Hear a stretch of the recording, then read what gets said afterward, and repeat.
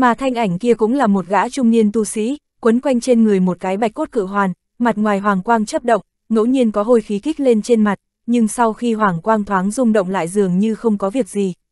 Bản thân trung niên tu sĩ hai tay đều sử dụng một thanh phi kiếm hồng hoàng tương giao, liều mạng ngăn cản sự tiến công của ngũ tử đồng tâm ma. Hai đạo thanh ảnh là hai con thanh đồng cự sư, thân cao gần một trượng, bám theo đuôi ngũ ma tử và trung niên tu sĩ không ngừng cắn xé điên cuồng, hành động nhanh như tia chớp, thi thoảng lại hé miệng phun ra từng đạo quang trụ to dày, xem ra uy lực không phải nhỏ. Ngũ tử ma hoặc trung niên tu sĩ tuy rằng đối với sự công kích từ xa của thanh đồng sư không quá để ý, nhưng ở cự ly gần bên mình thì lại rất kiêng kỵ, thân hình mỗi người đều phiêu linh cực kỳ, hết sức cẩn thận không dám để hai con khôi lỗi thú này thâu thập. Thật sự không thể làm khác, chỉ có cách tạm thời buông tha cho đối thủ để tránh một kích hung hăng của con khôi lỗi này. Toàn thân hai con thanh đồng sư thanh quang chói mắt, phảng phất như đao thương bất nhập, vô luận là sau khi bị hôi khí hay phi kiếm đánh trúng, ngoại trừ thoái lui vài bước, căn bản không có thương tổn đến một cọng lông. Tầng bạch quang này cũng có chút cổ quái, tại mặt ngoài lại thỉnh thoảng có ngân sắc điện hồ chấp động, vô luận là ai một khi đến gần, trên quang mạc lập tức vang lên tiếng sấm sét, điện hồ dày đặc đánh xuống như mưa.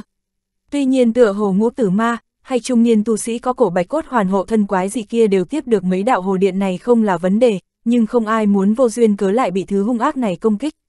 Kể từ đó, khiến màn tranh đấu trong quang mạc càng thêm kịch liệt. Đây là cái gì, chẳng lẽ là đấu thú trường sao? Hàn Lập chứng kiến một chàng này thở dài, hắn liếc mắt đã nhìn ra, trung niên tu sĩ là cấp bậc nguyên anh trung kỳ, nếu không ỉ vào kiện cốt hoàn hộ thân quỷ gì kia thì đã sớm bị ngũ tử ma tiếp cận, hút sạch tinh huyết rồi. Mà kia hai con đồng cự sư thoạt nhìn hung ác dị thường, nhưng dù sao cũng là khôi lỗi không có ai thao túng, trung niên tu sĩ và kiền lão ma không có cách nào phân tâm với chúng. Nếu không một khi rảnh tay chân, thì một trong hai người thu thập chúng cũng là chuyện dễ dàng. Trong lòng thầm nhủ một câu, ánh mắt hàn lập đảo qua hai bên. Quang mạc này cơ hồ trải rộng cả cái đài cao, đài cao hai bên lại có những mảng quang hà chớp động, rõ ràng có những cấm chế lợi hại khác, khiến người không thể thông hành. Kể từ đó, đường đi của Hàn Lập bị chướng ngại. Đang lúc hắn hướng về phía trước đi thì lại phát hiện phía sau quang mạc ẩn tàng một cự đại sơn môn, có vẻ như là lối vào của côn ngô điện. Hàn Lập lơ đã nhíu mày, hắn tự nhiên là không chịu dừng bước như vậy, chỉ trong chốc lát là bọn người thanh niên họ từ sẽ đuổi tới. Hắn bất động thanh sắc, tay áo bảo khẽ rung, tam diễm phiến được giấu trong tay áo nhất thời rơi xuống nằm gọn trên bàn tay. Hắn chuẩn bị nhờ vào uy lực của vũ phiến này, tạm thời khai mở quang mạc, sau đó xét đánh không kịp bưng tai xuyên qua bên kia. Tuy nhiên chắc chắn là sẽ bị hai người đang tranh đấu trong quang mạc phát hiện, nhưng chút phong hiểm này không thử không được, nơi đây cũng không phải là nơi thích hợp cho hắn và người khác đấu tranh. Ở Hàn Lập hít sâu một hơi, vừa lúc định đem pháp lực rót vào bảo phiến, bỗng nhiên vừa xoay đầu hướng về một khối thạch đôn cự đại bên cạnh đài cao nhìn lại, trên mặt đồng thời hiện ra một tia kinh ngạc. Chẳng lẽ là ảo giác, nó sao lại có cảm giác tựa như có một một tia linh ba khác thường. Nhưng dao động này thật sự cực kỳ bé nhỏ, nếu không phải hắn đang ở hiểm cảnh đã đem thần thức toàn bộ thả ra, chỉ sợ không thể phát hiện một mảy may. Trong lòng nghi hoặc, trong mắt hắn nhất thời lam mang chợt lóe, minh linh mục thần thông theo ý thức thi triển ra. Kết quả hàn lập tại hư không thấy được phía sau thạch đôn một đôi yêu mục phát ra hồng quang nhàn nhạt, Ngân xí giả xoa, cả kinh, trong nháy mắt hắn đã nhận ra chủ nhân của đôi yêu mục, linh lực trong cơ thể lập tức không lưỡng lự điên cuồng rót vào hai mắt. Rốt cuộc uy năng trong linh mục tăng rất nhiều, Hàn Lập thấy được phía sau hồng mục tồn tại một bóng ma mơ hồ, hình dáng ẩn nấp chính là ngân xí giả xoa. Nhưng yêu vật này không phải là nhìn hướng bên này của Hàn Lập, mà là gắt gao nhìn chằm chằm tình hình tranh đấu trong quang mạc. Nhìn bộ dáng bởi vì cấm chế của ngọn núi này và cũng vì Hàn Lập có vô danh liếm thức thuật thật cao minh, nên dù tới trước một bước nhưng vẫn chưa phát hiện được sự tồn tại của Hàn Lập. Bất quá Hàn Lập vẫn không vì vậy mà cảm thấy tự đắc, ngược lại trong lòng lại trầm xuống. Bởi vì bên cạnh ngân xí giả xoa đã biến thành bóng ma, lại còn tồn tại hai cái bóng mơ hồ khác. Linh mục thần thông của hắn đã sử dụng tới mức tận cùng, nhưng không cách nào nhìn rõ ràng hơn chút nào. chị ẩn ước cảm thấy trong đó có một sư cầm thú hình như đã từng xuất hiện dưới chân núi, còn hình dáng người còn lại thì lại rất lạ lẫm. Mấy yêu vật này lại mai phục tại đây có vẻ như cùng liên thủ. Chẳng lẽ chúng đã động tâm với bảo vật trong côn ngô điện hay sao? Hàn lập tâm niệm xoay chuyển nhanh như điện cân nhắc, đúng lúc này, đột nhiên hàn lập thần sắc vừa động, vội quay đầu nhìn. Chỉ thấy phía dưới cái dốc trong thạch lâm thấp thoáng có linh quang chấp động, bọn người thanh niên họ từ đã ra khỏi thạch lâm có vẻ muốn lập tức đuổi theo hắn. Thấy tình hình này, hàn lập lập tức không hề do dự, trong tay linh phiến thổi phù một tiếng, bỗng nhiên bị một tầng tam sắc hỏa diễm bao vây, sau đó bảo phiến phảng phất như đao kiếm hướng trên quang mạc lặng lẽ đánh xuống. Sau một tiếng oành trầm thấp vang lên, tuy Hàn Lập đã có thể khống chế uy lực của cây vũ phiến. Nhưng trong nháy mắt tam sắc hỏa diễm và cấm chế đụng nhau, linh quang sáng chói vẫn bộc phát. Vô luận ba yêu vật ngân xí giả xoa đang ẩn núp tại sau thạch đôn, hay là kiền lão ma và trung niên tu sĩ đang chiến đấu trong quang mạc đều cả kinh hướng tới phía Hàn Lập xem xét. Thấy hành tích đã bị bại lộ, Hàn Lập cũng không muốn che giấu thêm chi, tung người nhảy xuống, cả người lại hóa thành một đạo cầu vòng xanh chói mắt từ chỗ lỗ hỏng vừa mới phá vỡ bay vào trong, một đường thẳng đến bên kia quang mạc bắn nhanh đi. Dùng pháp lực mạnh mẽ đối kháng cấm không cấm chế, độn quang nhanh như tia chớp. Trong nháy mắt đã phi độn ra ngoài hơn 10 trượng, mắt lướt nhìn khoảng giữa của đài cao một lượt. Lớn mật, kiền lão ma gầm lên một tiếng, ba trong năm đạo bạch ảnh đang vây công trung niên tu sĩ, thân hình nhoáng lên, đột nhiên biến mất tại chỗ vô tung. Ngay sau đó, chúng lại quỷ dị xuất hiện tại trước mặt Hàn Lập, sáu con mắt xanh âm hàn đồng thời trừng trừng nhìn Hàn Lập. Cút cho ta, trong thanh quang truyền đến một tiếng quát chói tai của Hàn Lập, một tiếng sét đánh lập tức vang lên, một đạo kim hồ dày đặc từ trong độn quang bắn ra, sau khi quay cuồng hóa thành kim sắc điện dao, tàn nhẫn đánh về phía ba đạo bạch ảnh. Ích tà thần lôi, vừa thấy kim sắc điện hồ, thanh âm kinh sợ của kiền lão ma bỗng nhiên truyền ra, không ngờ hắn lại nhận ra lai lịch ích tà thần lôi. Ba con hóa thân tử ma vốn đang phun ra ma khí để ngăn cản hàn lập, thân hình cuống quýt nhoáng lên, rồi biến mất tại chỗ không còn thấy đâu. Kim dao một lần đánh vào khoảng không, mà độn quang màu xanh nhân cơ hội này lại chợt lóe, lướt qua nơi này, lại bắn tới một chỗ phụ cận bên quang mạc chương 1013, vạn cân áp thân. Điện hồ trên quang mạc cảm ứng được Hàn Lập đến gần, một tiếng lôi minh, quang mạc đồng thời đánh nhanh xuống. Hàn Lập trong miệng một tiếng khẽ kêu, kim sắc điện giao phía sau tấn công về phía trước, oanh một tiếng tự động bạo liệt. Một kim sắc cự võng nhất thời từ hư không hiện ra, che chở cho Hàn Lập. Tất cả ngân hồ đánh lên trên kim võng, tất cả đều vô thanh vô tức biến thành vô hình. Hàn Lập, là ngươi, Hàn trưởng lão, Hàn Lập thu liếm độn quang, sau khi vừa hiện thân, kiền lão ma và trung niên tu sĩ kia cơ hồ đồng thời giật mình kêu ra tiếng. Hàn Lập nghe vậy dùng mình, không khỏi quay đầu nhìn tên niên tu sĩ mặt chữ điển trung kia, nhìn thấy khuôn mặt đầy vẻ kinh ngạc, nhưng hắn thực không nhận biết.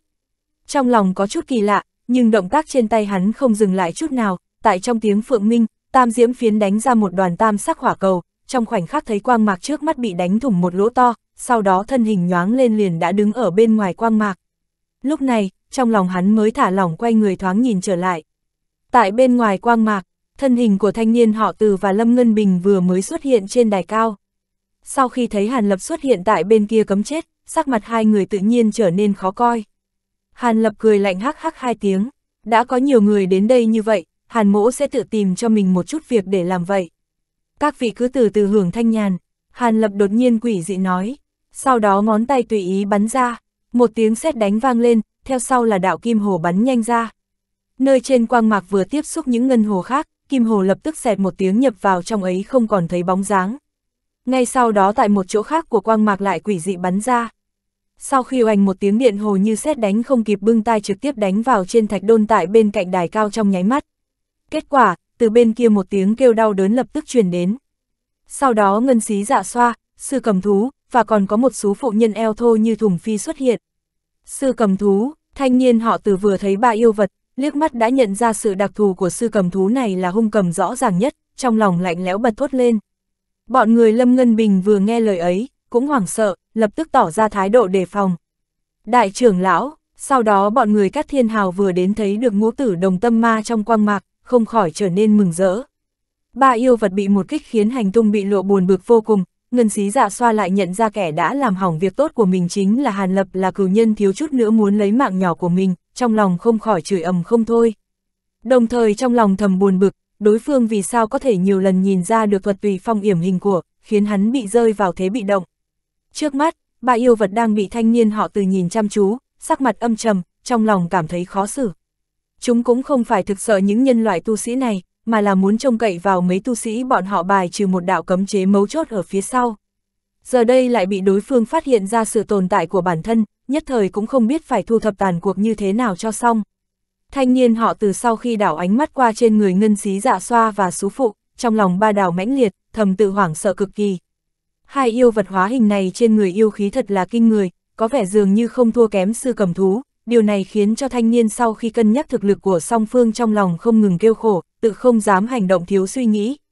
Kiền lão ma và vị diệp gia trưởng lão kia trong quang mạc thấy sự tình kinh biến như vậy cũng muốn dừng tay, chỉ là hai đầu thanh đồng sư không ngừng đánh tới, bọn họ rơi vào đường cùng cũng chỉ có thể vừa ứng phó vừa cùng cảnh giác khai mở khoảng cách. Rốt cuộc đôi bên đều có điều cố kỵ nên nhất thời rằng co tại đây. Hàn Lập lại không để ý đến cục diện rối loạn này, thân hình nhoáng lên hướng phía sau mà đi. Đã có cơ hội để thủ trước một bước bảo vật vào tay, hắn tự nhiên cũng sẽ không khách khí. Kết quả sau mấy lần nhấp nhô, là đã đứng trước một sơn môn hoàn toàn dùng ngọc bích tinh mỹ xây thành.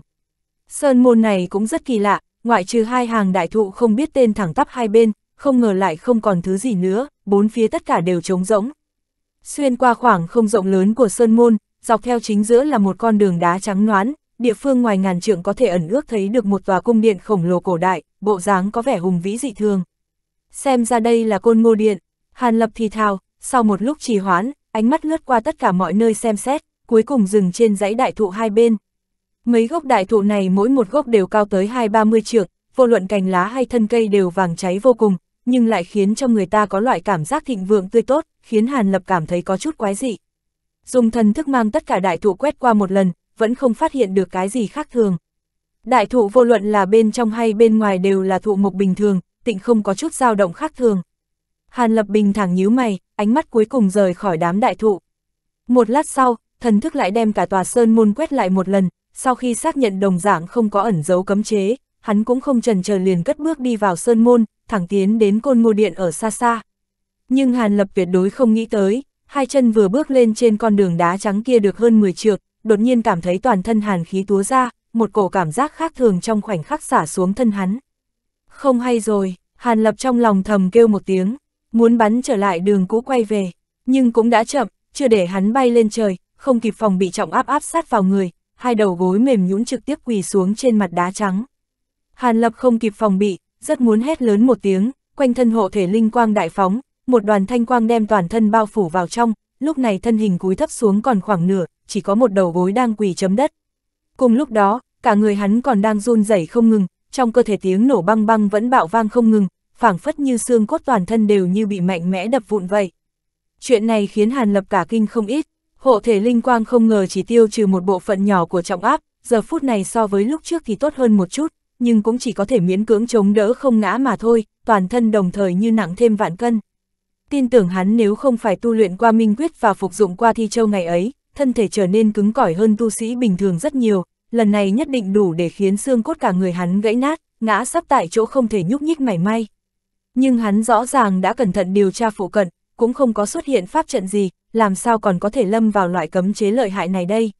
Hàn lập trong lòng thầm kêu khổ, không suy nghĩ nhiều trong miệng chú ngữ vội vang lên, giờ phút này ngay cả ngón tay cũng không thể nhúc nhích, muốn thi triển thần thông, tự nhiên chỉ có sử dụng chú ngữ để miễn cưỡng dùng được. Trong nháy mắt, trong thanh quang lại vang lên từng trận tiếng sét đánh. Trong quang điện thiểm động, trên người hắn hiện ra một tầng kim sắc điện y. Lúc này điện y mạnh mẽ tác dụng, thân hình hàn lập khẽ nhoáng lên, nghiến răng nghiến lợi chậm rãi đứng dậy. Nhưng vừa đứng thẳng được một nửa, lại cảm thấy trọng lực trên người đột nhiên tăng vọt, một lần nữa đem hắn ép khuỵu xuống. Lúc này đây, sắc mặt hàn lập thật sự đại biến. Trong lúc hàn lập bị nhốt tại sơn môn, dưới chân núi bọn người kiền lão mà bởi vì sơn môn trên cao bị quang mạc che đi, nên chỉ có thể chứng kiến Hàn Lập biến mất không có nhập vào trong trận quần ẩu, vẫn còn chưa chứng kiến những tình hình khác. Những người này tự nhiên trong tâm đều nghĩ đến trọng bảo, tất cả đều kiềm chế không được. Xúc sinh, thực muốn tìm cái chết, lão phù thành toàn cho ngươi. Trong quang mạc đột nhiên truyền đến thanh âm bạo nộ của kiền lão ma. Lập tức năm đạo bạch ảnh trong cấm chế đột nhiên tụ lại ở giữa, không ngờ năm bạch ảnh bỗng hợp nhất hóa thành một bạch sắc cửa ảnh thân cao mấy trượng, bất quá nó vẫn chưa hướng vị diệp ra tu sĩ mặt chữ điển kia xuất thủ, ngược lại bàn tay to đột nhiên cuốn về phía sau. Chỉ thấy bạch ảnh chợt lóe, cánh tay trong khoảnh khắc hóa thành bạch mãng một phát đem thanh đồng sư từ phía sau nuốt vào trong miệng, sau đó bạch mãng từ thân hình cự nhân biến thành một cự đại quang cầu, mang thanh đồng sư kia hoàn toàn cuộn lấy. Mặc cho thanh đồng khôi lỗi ở bên trong dương nhanh múa vuốt, miệng phun cột sáng, bạch cầu lại không chút sức mẻ gì. Bên kia tu sĩ mặt chữ điền cũng đột nhiên điểm vào cự đại cốt hoàn trên người. Trong phút chốc cốt hoàn này quang mang vạn đạo, huyễn hóa ra vô số hoàng sắc hoàn ảnh, nhưng lúc này dưới sự thôi thúc pháp quyết của người, cự đại ảo ảnh chợt biến mất. Nhưng ngay sau đó lại xuất hiện tại đỉnh đầu của con thanh đồng sư đang đuổi sát trung niên tu sĩ. Kết quả vô số hoàn ảnh không khách khí hạ xuống, các quang hoàn đem con thú vây khốn, một vòng chặt chẽ lập tức khiến thân mình nó bị ngã quỵ. Nhưng tu sĩ mặt chữ điền căn bản không hề nhìn đến thanh đồng thú này, ngược lại sắc mặt âm trầm nhìn chằm chằm bạch sắc cửa ảnh đối diện. Hừ, di thiên trạc quả nhiên là danh bất hư truyền. Theo lời đồn, bảo vật này chính là phỏng chế theo thượng cổ linh bảo ánh nguyệt hoàn, đáng tiếc chưa được người chứng thật. Lão phu xem, cho dù đây là phỏng chế phẩm của thông thiên linh bảo, thì cũng không kém bao nhiêu. Thanh âm của kiền lão ma, đột nhiên từ trong miệng cự đại bạch ảnh lạnh lùng truyền ra. Không có bảo vật này hộ thân, Diệp Mỗ chỉ sợ rằng tiểu mệnh đã sớm nằm trong tay kiền huynh. Nhưng đạo hữu hiện tại đang vướng bận nơi đây, lại không sợ tất cả bảo vật đều bị tiểu tử vừa rồi lấy đi sao. Tu sĩ mặt chữ điền sau khi cười lạnh một tiếng, cố ý liếc mắt về hướng sơn môn. Âu, nếu cấm chế của côn ngô điện dễ phá trừ như thế, Diệp đạo hữu chẳng phải đã sớm tiến vào trong điện, lấy được bảo vật, sao lại lúc này vẫn ở trong cấm chế bị lão phu đuổi kịp vậy? Nhưng vừa rồi Diệp huynh xưng hô vị này là trưởng lão, chẳng lẽ hắn là tu sĩ của Diệp gia các ngươi? Kiền lão ma thanh âm băng hàn, ha ha, đó là Diệp mỗ nhìn lầm người, người này lão phu thực không nhận biết, tu sĩ mặt chữ điển ánh mắt hơi đổi cười ha ha, không biết thiệt giả nói. Kiền lão ma nhất thời trở nên trầm mặc, tựa hồ đang phán đoán sự thiệt giả trong lời nói của đối phương. Nhưng một lát sau, hắn lại lạnh lùng nói, không quản người này thật có quan hệ cùng Diệp ra không, nhưng hắn và một tên thiên nam khác có cùng họ, Diệp ra các ngươi cũng không có khả năng thật tin tưởng hắn. Các ngươi trăm phương ngàn kế tìm đến Côn Ngô Sơn để mở ra phong ấn này, chẳng lẽ thật muốn khiến bảo vật rơi vào tay ngoại nhân? Ta đã rằng có cùng ngươi một thời gian mà cũng không cách gì, giờ không còn hứng thú tiếp tục với ngươi.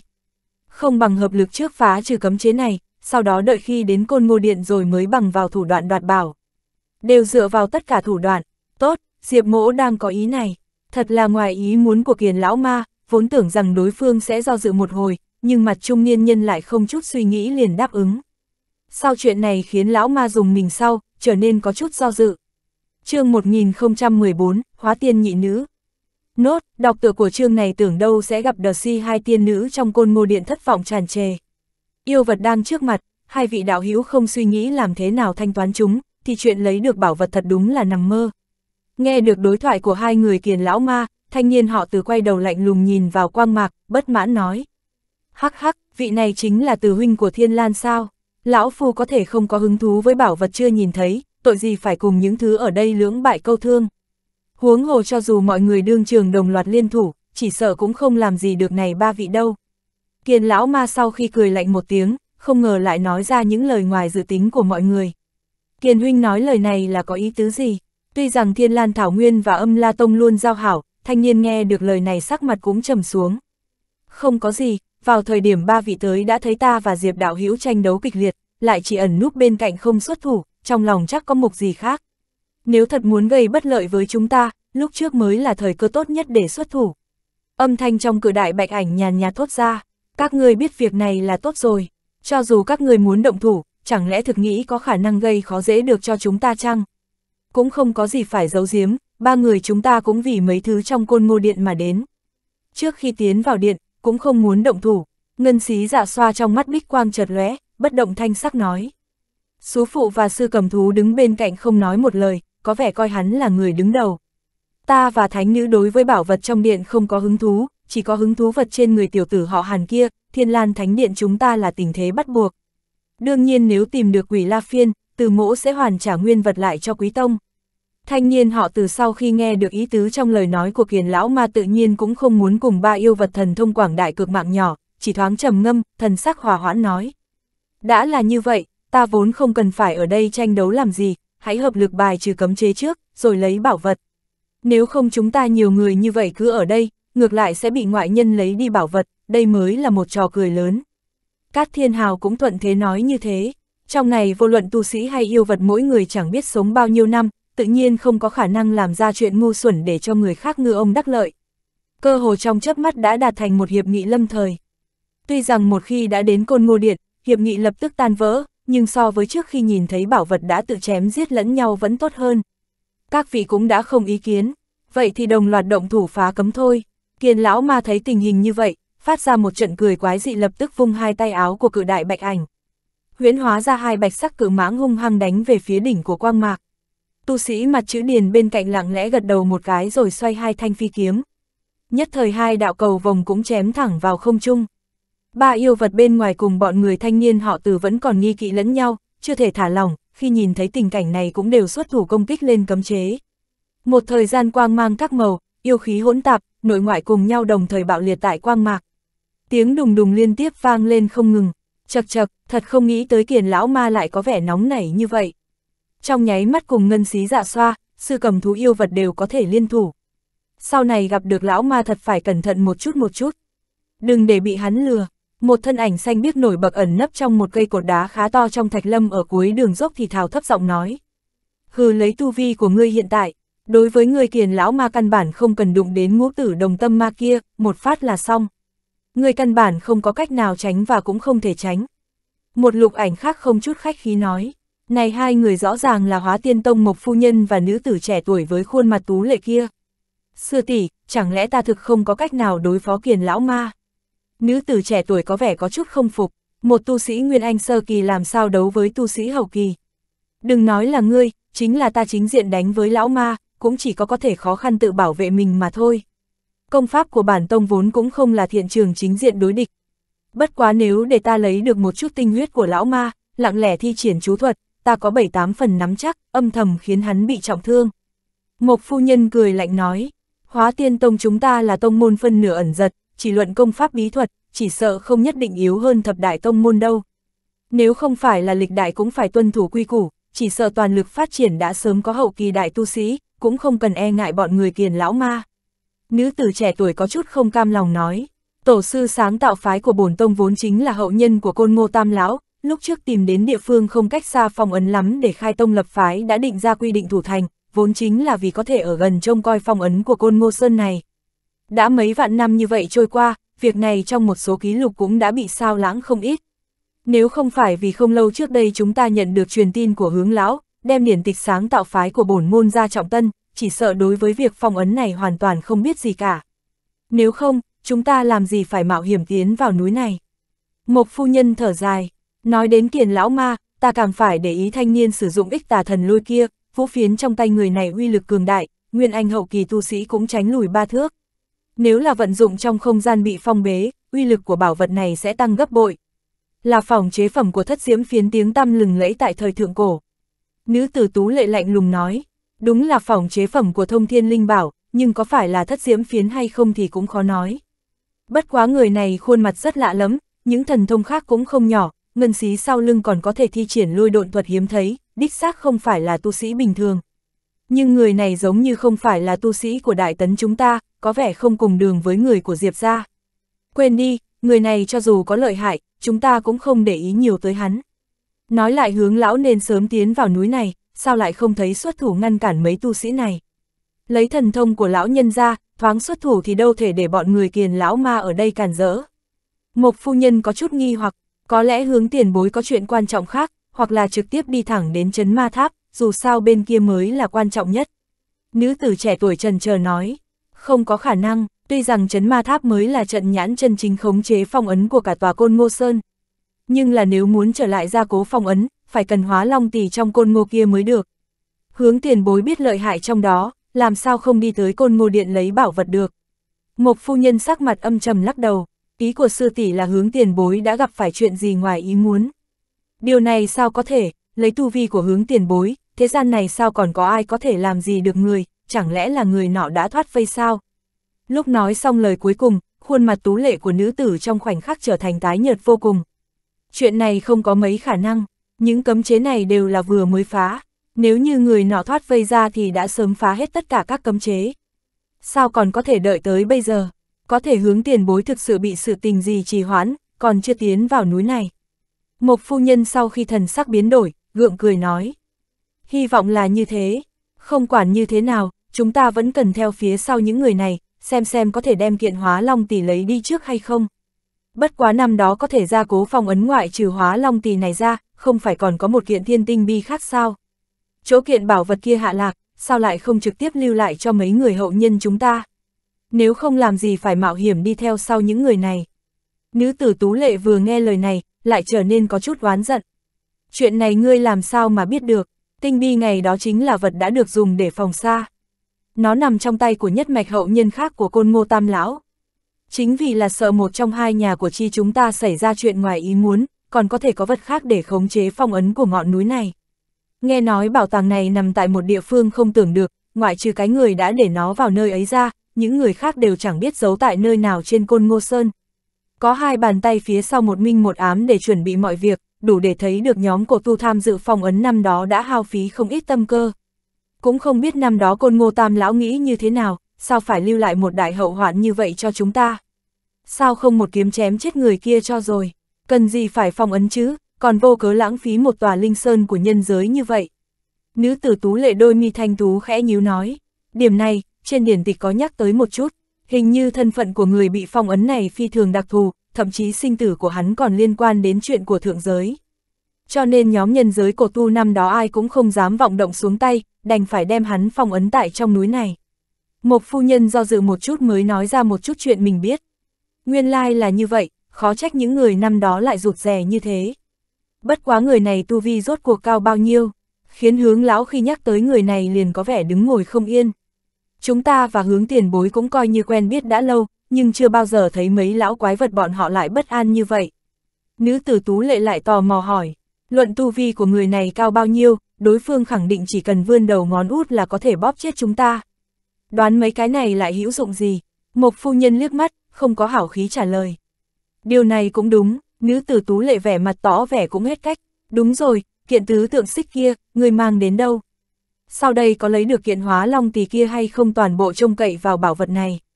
Một phu nhân chuyển đề tài, nhắc tới một chuyện khác.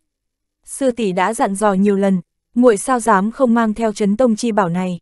Bất quá nói lại cũng thật là đáng tiếc, nếu sư tỷ không tu luyện công pháp thuộc tính cùng tứ tượng xích bài xích nhau, thì sư tỷ sử dụng nó là thích hợp nhất. Sư tỷ đã từng nói một trong hai kiện thông thiên linh bảo dùng để chấn áp người đó là bát linh xích, không phải là một phỏng chế phẩm của nó là tứ tượng xích này sao chứ? Muội còn muốn chính mắt thấy chúng có hình dáng ra sao? Nữ tử tú lệ con mắt sáng lưu chuyển, thản nhiên cười nói. Bát linh xích, hắc phong kỳ, trong điển tịch có thoáng đề cập đến. Có thể thật sự nhìn thấy không, ta cũng, a à, kiền lão mà bọn họ đã phá vỡ cấm chế, chúng ta cũng mau lên thôi. Một phu nhân đang định nói gì với sư muội, xoay chuyển ánh mắt chứng kiến cảnh quang mạc trên đài cao bị các loại công kích đánh vỡ từng mảnh, thần sắc vội vàng ngưng trọng nói. Nữ tử tú lệ trong lòng phát lạnh, cũng ngẩng đầu nhìn lại. Vừa lúc thấy bọn người kiền lão ma xuyên qua quang mạc tán loạn, hướng chỗ sơn môn kia tiến đến. chương 1015, Kim Tử Linh Mộc. Chúng ta đuổi theo, không cần đến quá gần mấy lão quái vật, may mắn là còn có thể khắc chế thần thức, nếu không chúng ta căn bản không có cơ hội theo dõi tu sĩ cấp bậc Nguyên Anh hậu kỳ. Một phu nhân trong miệng chiêu hô, nhất thời quanh thân của hai nàng bạch quang chấp động, lặng yên độn ra khỏi thạch trụ, thi triển bí thuật khác đuổi theo sau. Không lâu sau khi hai nàng rời đi, tại một cây thạch trụ khác phía sau cây thạch trụ nơi nhóm hai nữ tử lục quang chấp động, một nhân ảnh toàn thân màu lục to lớn xuất hiện, một đôi mắt trong suốt lạnh như băng sau một lúc nhìn chằm chằm phương hướng hai nữ tử vừa biến mất, lập tức lại quỷ dị chợt lóe rồi biến mất. Trong lúc bọn người kiền lão ma đuổi tới trước sơn môn, Hàn Lập đang đứng tại sơn môn và đang chậm rãi bước trên con đường nhỏ ở giữa cự đại cung điện, mỗi lần bước một bước đều dừng lại một chút, phảng phất như mỗi một bước nặng hơn vạn cân, lúc này hắn chỉ còn cách cự đại cung điện này khoảng 2-300 trượng. Bất quá lúc này Hàn Lập toàn thân chẳng những thanh quang kim hồ lượn lờ, mà còn có một tầng tử diễm cực kỳ diễm lệ bao phủ, thậm chí còn sớm đã dụng hàng linh phù hóa thân thành hình tượng bán giao bán nhân, nửa giao long nửa người, rất quỷ dị, chuyện này khiến cho bọn người kiền lão ma sau khi thấy được đều cả kinh. Đây là thần thông gì, người này làm sao có thể biến thành bộ dạng này? Một gã hắc sam lão giả không khỏi thất thanh kêu lên. Quản hắn sao lại thế này làm gì, hiện tại tiểu tử này có vẻ giống như bị cấm chế vây khốn, đây đúng là thời cơ tuyệt hảo để diệt trừ hắn. Các thiên hào sắc mặt âm lệ chợt lóe nói, lập tức một tay nhanh chóng dương lên, một thanh giáo dài đỏ như lửa liền hóa thành một đạo hồng mang bắn tới. Lúc trước Hàn Lập dùng tam diễm phiến phá hủy một thanh cốt kiếm do các thiên hào luyện hóa, khiến hắn chịu thiệt không nhỏ. Hiện tại có cơ hội thừa dịp trả đùa, tự nhiên sẽ không dễ dàng buông tha. Nhưng hồng mang vừa mới bay ra hơn 10 trượng liền phát ra một tiếng đùng rồi rơi thẳng xuống, hung hăng đập vào mặt đất tạo thành một cái hố sâu, lập tức bị ép chặt xuống mặt đất. Đây là, các thiên hào cả kinh không nhỏ, vội vàng thúc giục toàn thân pháp lực muốn lấy bảo vật này về, nhưng cây giáo kia như đã mọc rễ vào lòng đất, căn bản vẫn nằm bất động. Đại ngũ hành từ lực, Lâm Ngân Bình thấy tình hình như vậy, hô nhỏ một tiếng. Không phải, là kim từ trọng quang, đây là do hai hàng kim từ linh mộc ở hai bên sinh ra cấm chế thiên nhiên. Bất luận kẻ nào bước một bước vào phạm vi ảnh hưởng của mấy cái linh mộc này, đều bị từ quang trọng lực của mấy cây này áp vào thân, xem như là nửa bước cũng khó đi. Ngân xí dạ xoa liếc mắt xem xét hai hàng đại thụ nâu sẫm hai bên, đột nhiên nhàn nhạt nói. Nửa bước khó đi, tiểu tử họ hàn kia làm sao đi qua tới bên kia. Thanh niên họ từ cười lạnh một tiếng, nhìn bóng lướt hàn lập xa xa nói. Hắc hắc, đạo hữu thực không thấy được sao, hay cố ý xem hình thái đại biến của người này như là không khí. Người này sau khi biến hình, tu vi tối thiểu tăng vọt khoảng gần một nửa, tu vi ước chừng là nguyên anh trung kỳ đỉnh giai. Huống chi vô luận là ích tà thần lôi hay tử sắc băng diếm kia cũng đều là đại thần thông không nhỏ. Nếu là đạo hiếu, chỉ sợ còn không thể chịu đựng lâu bằng người này sau khi biến hình đâu. Ngân xí dạ xoa liếc mắt nhìn thanh niên, khóe miệng nổi lên một tia châm biếm. Phải không, nghe khẩu khí của các hạ tựa hồ đối với tiểu tử họ hàn này có vẻ quen thuộc. Các hạ chẳng lẽ nhận biết người này, thanh niên họ từ mặt không chút thay đổi, thay đổi đề tài. Quen biết người này hay không, tựa hồ cũng không có quan hệ gì đến các hạ. Ngân xí giả xoa lại nghe ra ý tứ dò dẫm trong lời của đối phương, cười lạnh nói. Thanh niên họ từ nghe được ngân xí giả xoa đáp như thế, thân sắc bất biến, nhưng trong lòng tự nhiên giận dữ. Kim từ linh mộc, không lẽ đây là thượng cổ linh thụ được gọi là lạc bảo thụ, nhưng ở bên ngoài những cây này sớm bị diệt chủng, nghe nói bảo vật nào có trộn lẫn vật liệu kim trúc tính đều sẽ bị cây này khắc, trách không được bảo vật của các đạo hữu lập tức bị rơi xuống đất.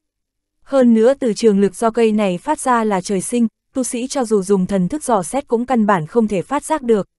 Cát thiên hào nhướng mày nói, không chỉ như thế, từ trường do cây này phát ra lợi hại cực kỳ, thậm chí có thể trồng chất lên nhau, khiến cho trọng lực trên người tăng lên gấp bội. Cụ thể sẽ bị tăng bao nhiêu trọng lực thì cứ nhìn hai hàng linh thụ có bao nhiêu cây thì tự biết. Chúng mọc rậm rạp như thế, chỉ sợ là chúng ta vừa tiến vào trong, cơ hồ đã bị 4 năm gốc cây đồng thời gây tác dụng. Người khác không biết, nhưng tại hạ tự hỏi là tuyệt không cách chịu đựng được cự lực như thế. Tu sĩ mặt chữ điền sắc mặt có chút ngưng trọng, phải không, thiếp thân thật ra không tin, muốn thử một lần. Lâm Ngân Bình nhìn thấy bóng lưng của Hàn Lập chậm rãi bước tới, Ngọc Dung lạnh lùng. Vỗ túi linh thú bên hông, nhất thời một con quái xả bốn chân phóng ra. Quái xả này toàn thân đầy lân phiến thô dày, trên lưng có một đôi nhục xí có vẻ da dày thịt béo. Đi, từ miệng Lâm Ngân Bình phát ra một tiếng quát khẽ, hướng bóng lưng của Hàn Lập xa xa chỉ tới. Trên thân của quái xà bỗng nhiên xuất hiện thêm một tầng hoàng hộ cháo, sau khi xoay quanh một vòng tại không trung, liền bắn nhanh vào trong sơn môn. Kể từ đó, dưới sự chăm chú của nhiều ánh mắt, sau khi quái xà đồng dạng bay vào hơn 10 trượng, tự vù một tiếng, cũng giống hệt như mũi giáo lúc trước rơi thẳng xuống. Nhưng thân thể của quái xà này cứng cỏi dị thường, bộ dáng xem ra còn có sức lực, tại nơi quái xà vừa rơi xuống đất, bốn chân liền dùng một chút lực, không ngờ lăn lộn một cái rồi đứng lên, sau lưng hai cánh đồng thời cố hết sức vỗ vài cái, bộ dáng như muốn bay. Nhìn thấy cảnh này, trên mặt Lâm Ngân Bình không khỏi hiện ra một tia vui mừng. Nụ cười của nàng chưa kịp tắt, thì một tiếng xoạt truyền đến. Thân thể của quái xà bao liệt, cả người huyết nhục bị trọng lực ép nát như tương. Làm sao có thể, từ trường này thực lợi hại như vậy? Thân thể của tiểu tử họ Hàn làm bằng cái gì, ngay cả linh xà của ta cũng không thể chịu nổi, hắn làm sao còn có thể vô sự. Lâm Ngân Bình sắc mặt hơi trắng bệch, khó có thể tin thất thanh nói. Không cần suy nghĩ nhiều, ta tại trên thân thể của người kia cảm nhận được một cổ yêu khí nhàn nhạt, chắc là sử dụng một bí thuật gì mượn lực lượng của yêu thú nào đó tạm thời phụ thân, lúc này mới có thể làm thân thể trở nên mạnh mẽ như thế. Bất quá thần thông của bản thân người này đích thực rất cao, không ngờ không động đến pháp bảo lại có thể đồng thời sử dụng ba loại uy năng mạnh bảo kháng lại cự lực như thế. Lão Phu cũng không cách nào làm được như thế này. Kiên lão ma lạnh lùng nói, không ngờ lại đoán được một bộ phận tình hình thực tế. Lại có loại bí thuật này, người này hiểu được cũng thật là nhiều bàng môn tả đạo. Nghe được lão ma vừa nói như thế, bọn người Lâm Ngân Bình mới có chút giật mình. Tốt lắm, đừng nói nhiều lời. Nhân loại các người có gì thì sau này hắn nói, người nọ không chừng đã có thể tiến vào côn ngô điện. Số phụ trong ba yêu vật mắt thấy Hàn Lập thân hình càng ngày càng gần cự đại điện phủ kia, con mắt xoay chuyển lớn tiếng nói, thanh âm ồm oàm rất khó nghe. Yên tâm, trước mắt cấm chế của côn ngô điện không có khả năng không còn sót lại. Tại trong điện kia không biết còn có các cấm chế gì lợi hại hơn đang chờ hắn. Hơn nữa một khi đã biết lai lịch của kim từ linh mộc rồi, phá cấm cũng không phải việc gì khó khăn, chỉ cần chúng ta sử dụng pháp bảo không có chứa vật liệu kim trúc tính đốn ngã hết mấy cây đại thụ này, thì cấm chế tự nhiên dễ dàng bị bài trừ. Thanh niên họ từ lạnh nhạt nói, đơn giản như vậy, số phụ chớp chớp hai mắt, phảng phất có vẻ không tin. Kim từ trọng quang chỉ là khó có thể khám phá ra được, khiến người nếu lâm vào trong đó sẽ không thể tự cứu. Những thứ khác thì không đáng nhắc tới.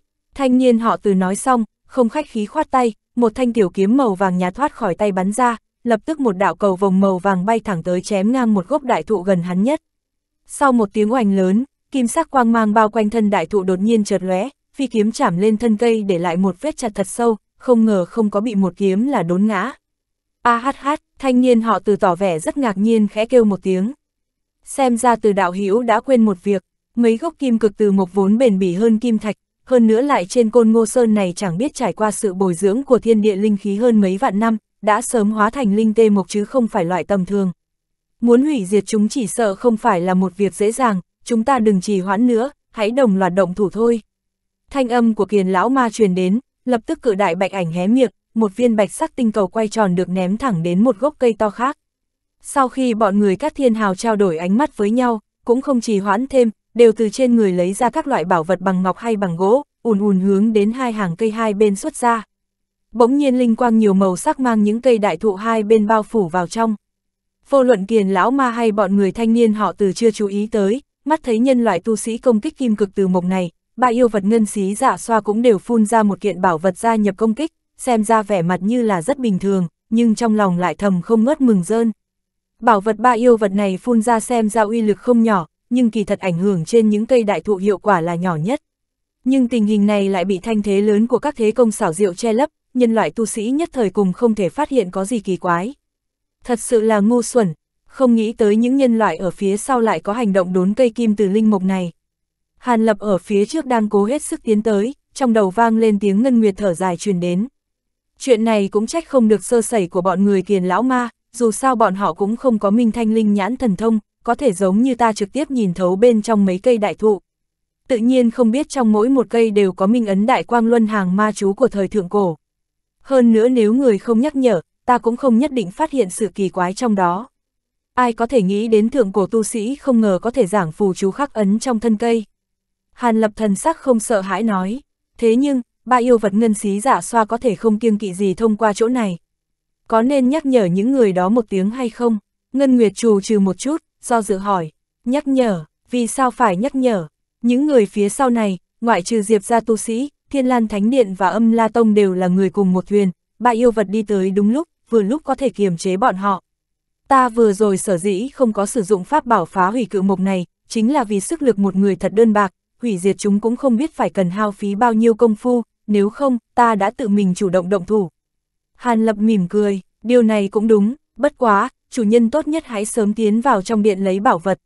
Chỉ cần bảo vật tới tay, lấy thần thông của chủ nhân thừa dịp hỗn loạn toàn thân trở ra là chuyện rất có thể. Sau đó chỉ cần tìm nơi bí ẩn ở trong núi trốn vài ngày, đợi sau khi cái khe nước kia hồi phục lại bình thường, thì sẽ rời khỏi núi này. Ngân Nguyệt cười khẽ nói, chương 1016, Nguyên sát Thánh Tổ. Nếu được thuận lợi như vậy thì tốt rồi, hiện tại chỉ có thể đi một bước tính một bước mà thôi. Hàn Lập không được lạc quan như vậy, nhẹ nhàng trả lời. Đúng lúc này, một tiếng nổ ầm từ phía sau truyền đến, Hàn Lập không quay đầu lại cũng lập tức biết có một gốc kim từ linh mục bị đốn ngã, nhưng hắn không hề kinh hoàng, vì giờ phút này khoảng cách hắn với đại điện phía trước cũng chỉ có hơn 10 trượng mà thôi.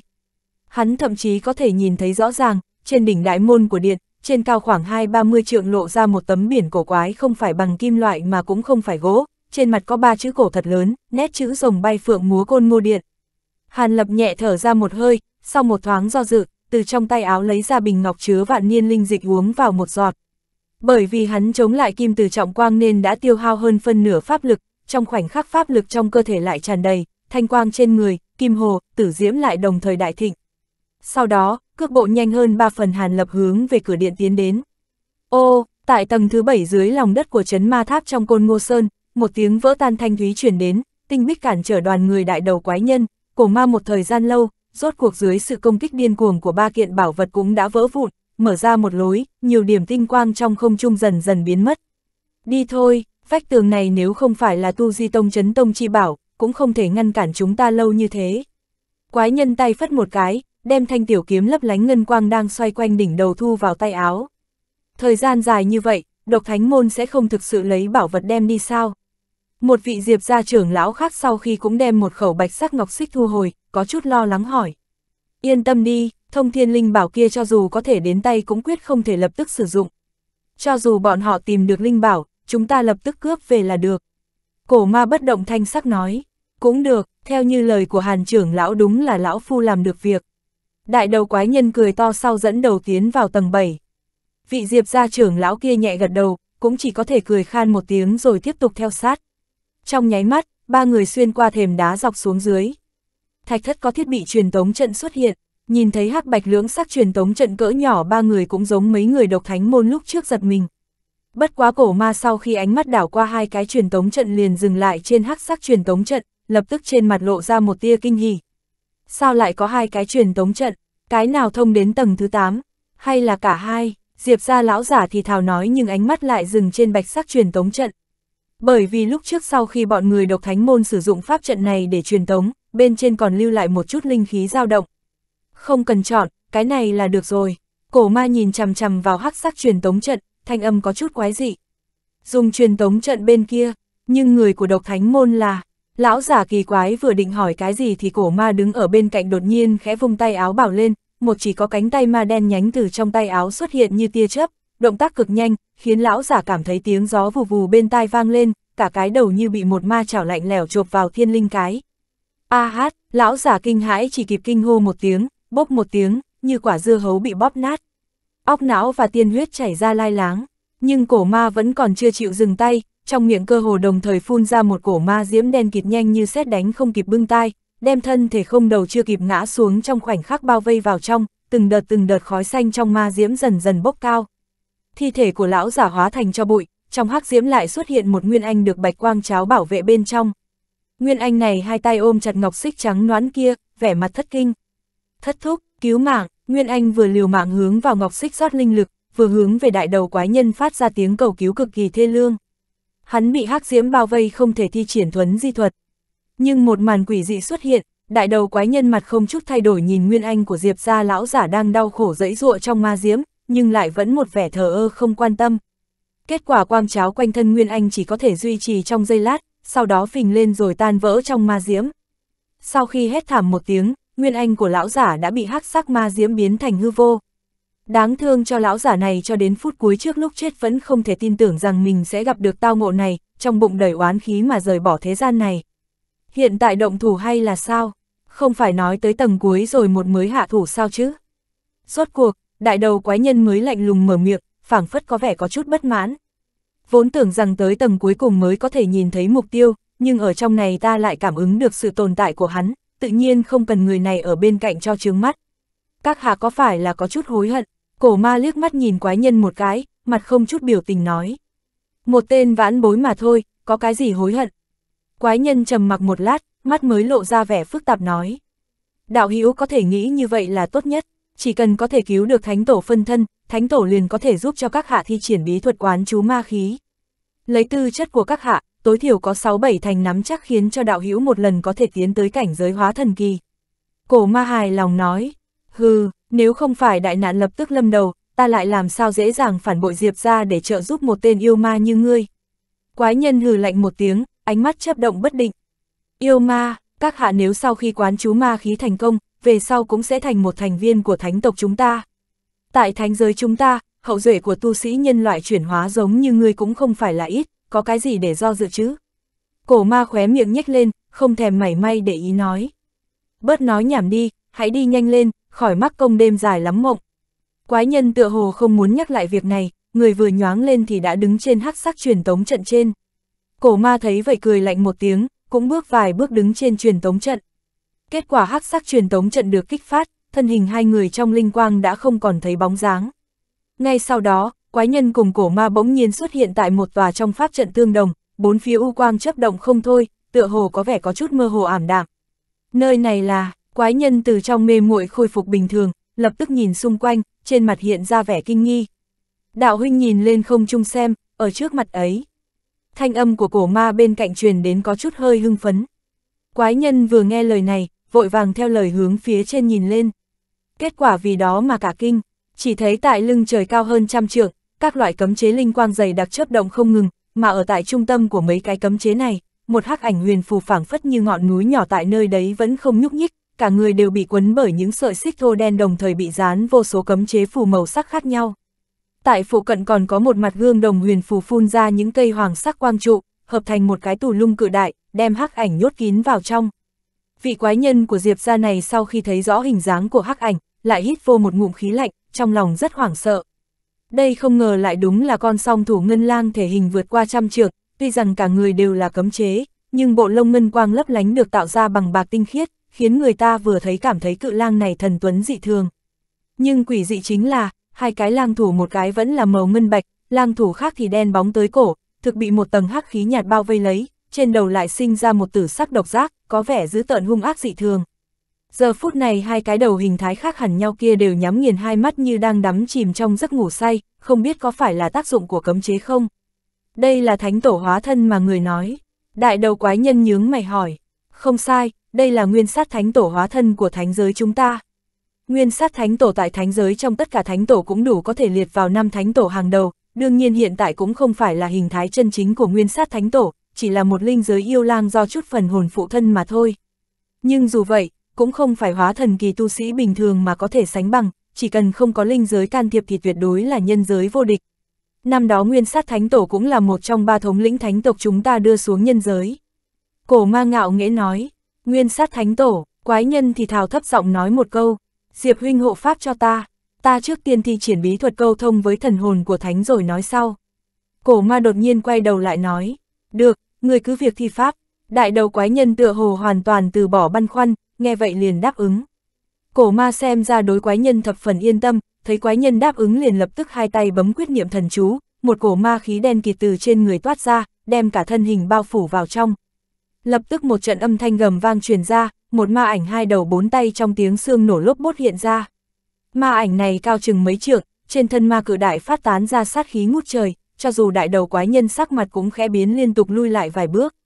Ngay sau đó hai miệng của cổ ma đồng thời phát ra tiếng chú ngữ trầm thấp khó hiểu, bốn cánh tay được che kín bởi những lân phiến bóng nhoáng đều bấm tay kết ấn niệm thần chú, trong hắc khí phảng phất hóa thành ma thần. Đại đầu quái nhân tuy rằng cẩn thận cảnh giác mọi thứ chung quanh, nhưng hai mắt vẫn dán chặt vào song thủ cự lang tại không trung nhìn chằm chằm, xem xem có gì biến hóa không. Ước chừng sau khoảng thời gian uống hết một chén trà nhỏ, chú ngữ trong miệng cổ ma đột nhiên dừng lại, miệng bỗng há rộng, một đoàn hắc hồng sắc tinh huyết trực tiếp hướng không trung phun đi. Đồng thời bốn cánh tay cũng hướng về phía trước dương lên, bốn đạo hắc sắc pháp huyết hòa nhập vào trong tinh huyết rồi biến mất. Đoàn tinh huyết kia nhất thời hóa thành một huyết văn cổ quái, vừa chợt lóe đã bay vút lên phía trên biến mất không còn thấy. Ngay sau đó, huyết văn ấy lại quỷ dị hiện lên ở trên trán của hắc sắc lang thủ, lập tức linh quang trên chiếc sừng chợt lóe, hắc sắc lang thủ mí mắt thoáng động đậy, hai mắt sốt cuộc chậm rãi hé mở đôi chút xuất ra tử mang chóa mắt, tại nơi giữa mí mắt phảng phất có hai khỏa tử dương đồng thời xuất hiện, khiến người không thể nhìn thẳng chút nào. Cổ ma và đại đầu quái nhân cũng không biết được rằng cùng lúc cực đại hắc sắc lang thủ bị bừng tỉnh, thì tại một không gian phong bế khác ở tòa cung điện phụ cận, một ngân sắc hạp tử trên bàn thờ hào quang chợt lóe, bộ dáng phảng phất như cũng có cái gì đã bừng tỉnh. Mà ở trên không trung của ngân sắc hạp tử này có một thúy lục mục xích đang lơ lửng phiêu phù giữa trời, chậm rãi chuyển động không ngừng, phát ra linh quang vừa vặn đem hạp tử phía dưới bao bọc vào trong chương 1017, Dung hồn, một thước trên đỉnh ngân hạp phát ra một cái lồng màu lục quang, linh quang lóe lên, nhất thời ngân quang tiêu thất, một lần nữa trở lên yên tĩnh dị thường. Có vẻ cực kỳ quỷ dị, nếu có người nào đứng gần phụ cận chiếc bàn có ngân hạp mà liếc mắt nhìn qua, sẽ càng hoảng sợ. Cách trước bàn khoảng hơn 10 trượng, rõ ràng thấy một cái nhân ảnh đứng ở nơi đó không có nhúc nhích. Người này mặc lam bào, đầu quấn khăn đỏ, trên mặt bích văn chấp động, rõ ràng là độc thánh môn đại trưởng lão Hoa Thiên Kỳ.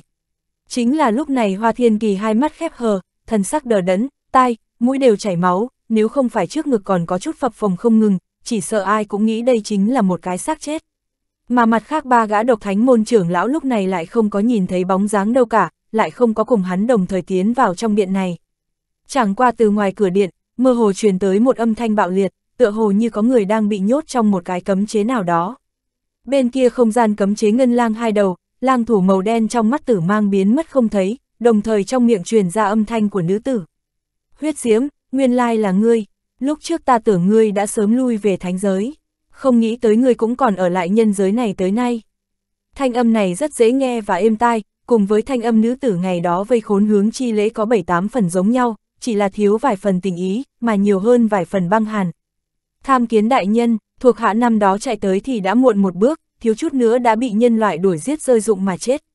Nếu không phải những tu sĩ đó muốn lấy được bí mật vị trí thông đạo thánh giới tiến vào nhân giới mà thuộc hạ nắm giữ, muốn chậm rãi thi pháp tiến hành siêu hồn khảo vấn, thì thuộc hạ cũng vô pháp sống đến ngày nay. Cổ ma cung kính trả lời, ồ, ngươi vận khí cũng không tệ lắm, năm đó khe không gian tại Linh Miểu Viên, sau khi chúng ta tiến vào nhân giới sớm đã bị phá toái rồi. Làm gì còn cái thông đạo nào nữa? Lang thủ màu đen ác tới việc nhân ma đại chiến năm đó nhưng lại không có gì kích động, chỉ là gật gật đầu nói. Đây là thượng cổ cự ma, mà tại thời điểm thượng cổ, thiếu chút nữa đã đem thượng cổ tu sĩ diệt sát không còn. Quái nhân đầu to ở bên cạnh lạnh lùng nhìn cổ ma cùng cự ma nói chuyện, thấy lang thủ màu đen miệng phát ra âm thanh nữ tử chậm rãi nói, nhìn không ra có chút ma tính nào, trong lòng cảm thấy có chút kinh ngạc. Ngươi nếu đã đi tới nơi đây, hẳn là kế hoạch đã chuẩn bị tốt hết thảy rồi chứ. Tuy nhiên ta nhắc nhở ngươi trước một câu, cứu ta đi ra ngoài cũng không phải là việc dễ dàng như ngươi nghĩ đâu. Không cần phải nói, chỉ với quang mang của đại chu thiên tinh thần liên vây khốn ta, dù là lấy tu vi hiện tại của ngươi cũng khó mà phá giải. Vật ấy chính là bảo vật theo linh giới lưu truyền tới nay, chuyên môn nhằm vào thánh tộc chúng ta mà đối phó. Lang thủ màu đen cúi đầu nhìn thoáng qua vô số xiềng xích màu đen trên người nhàn nhạt nói. Thánh tổ yên tâm, thuộc hạ nếu đã tới nơi đây, tất nhiên sớm đã có chuẩn bị chu toàn. Lần này tới đây chẳng những có diệp đạo hữu ra tay tương trợ, ngoài ra ta còn siêu tập tới một số kiện ma khí có thể phá vỡ cái xích này. Cổ ma bộ dạng có vẻ tự tin nói, ngươi lại có ma khí trợ giúp, xem ra để đánh rơi đại chu thiên tinh thần liên này cũng có vài phần thành công. Tuy nhiên cho dù là như vậy, ta cũng không thể để cho ngươi lập tức thi pháp. Lang thủ màu đen lắc đầu nói, vì sao lại vậy, lần này hai đầu bốn tay cổ ma cảm thấy ngạc nhiên, trong mắt tử hồng quang mang chấp động không thôi. Diệp gia quái nhân cũng một trận ngạc nhiên, rất đơn giản, tinh thần liên này cũng không phải là nhóm cấm chế lợi hại nhất vây khốn ta.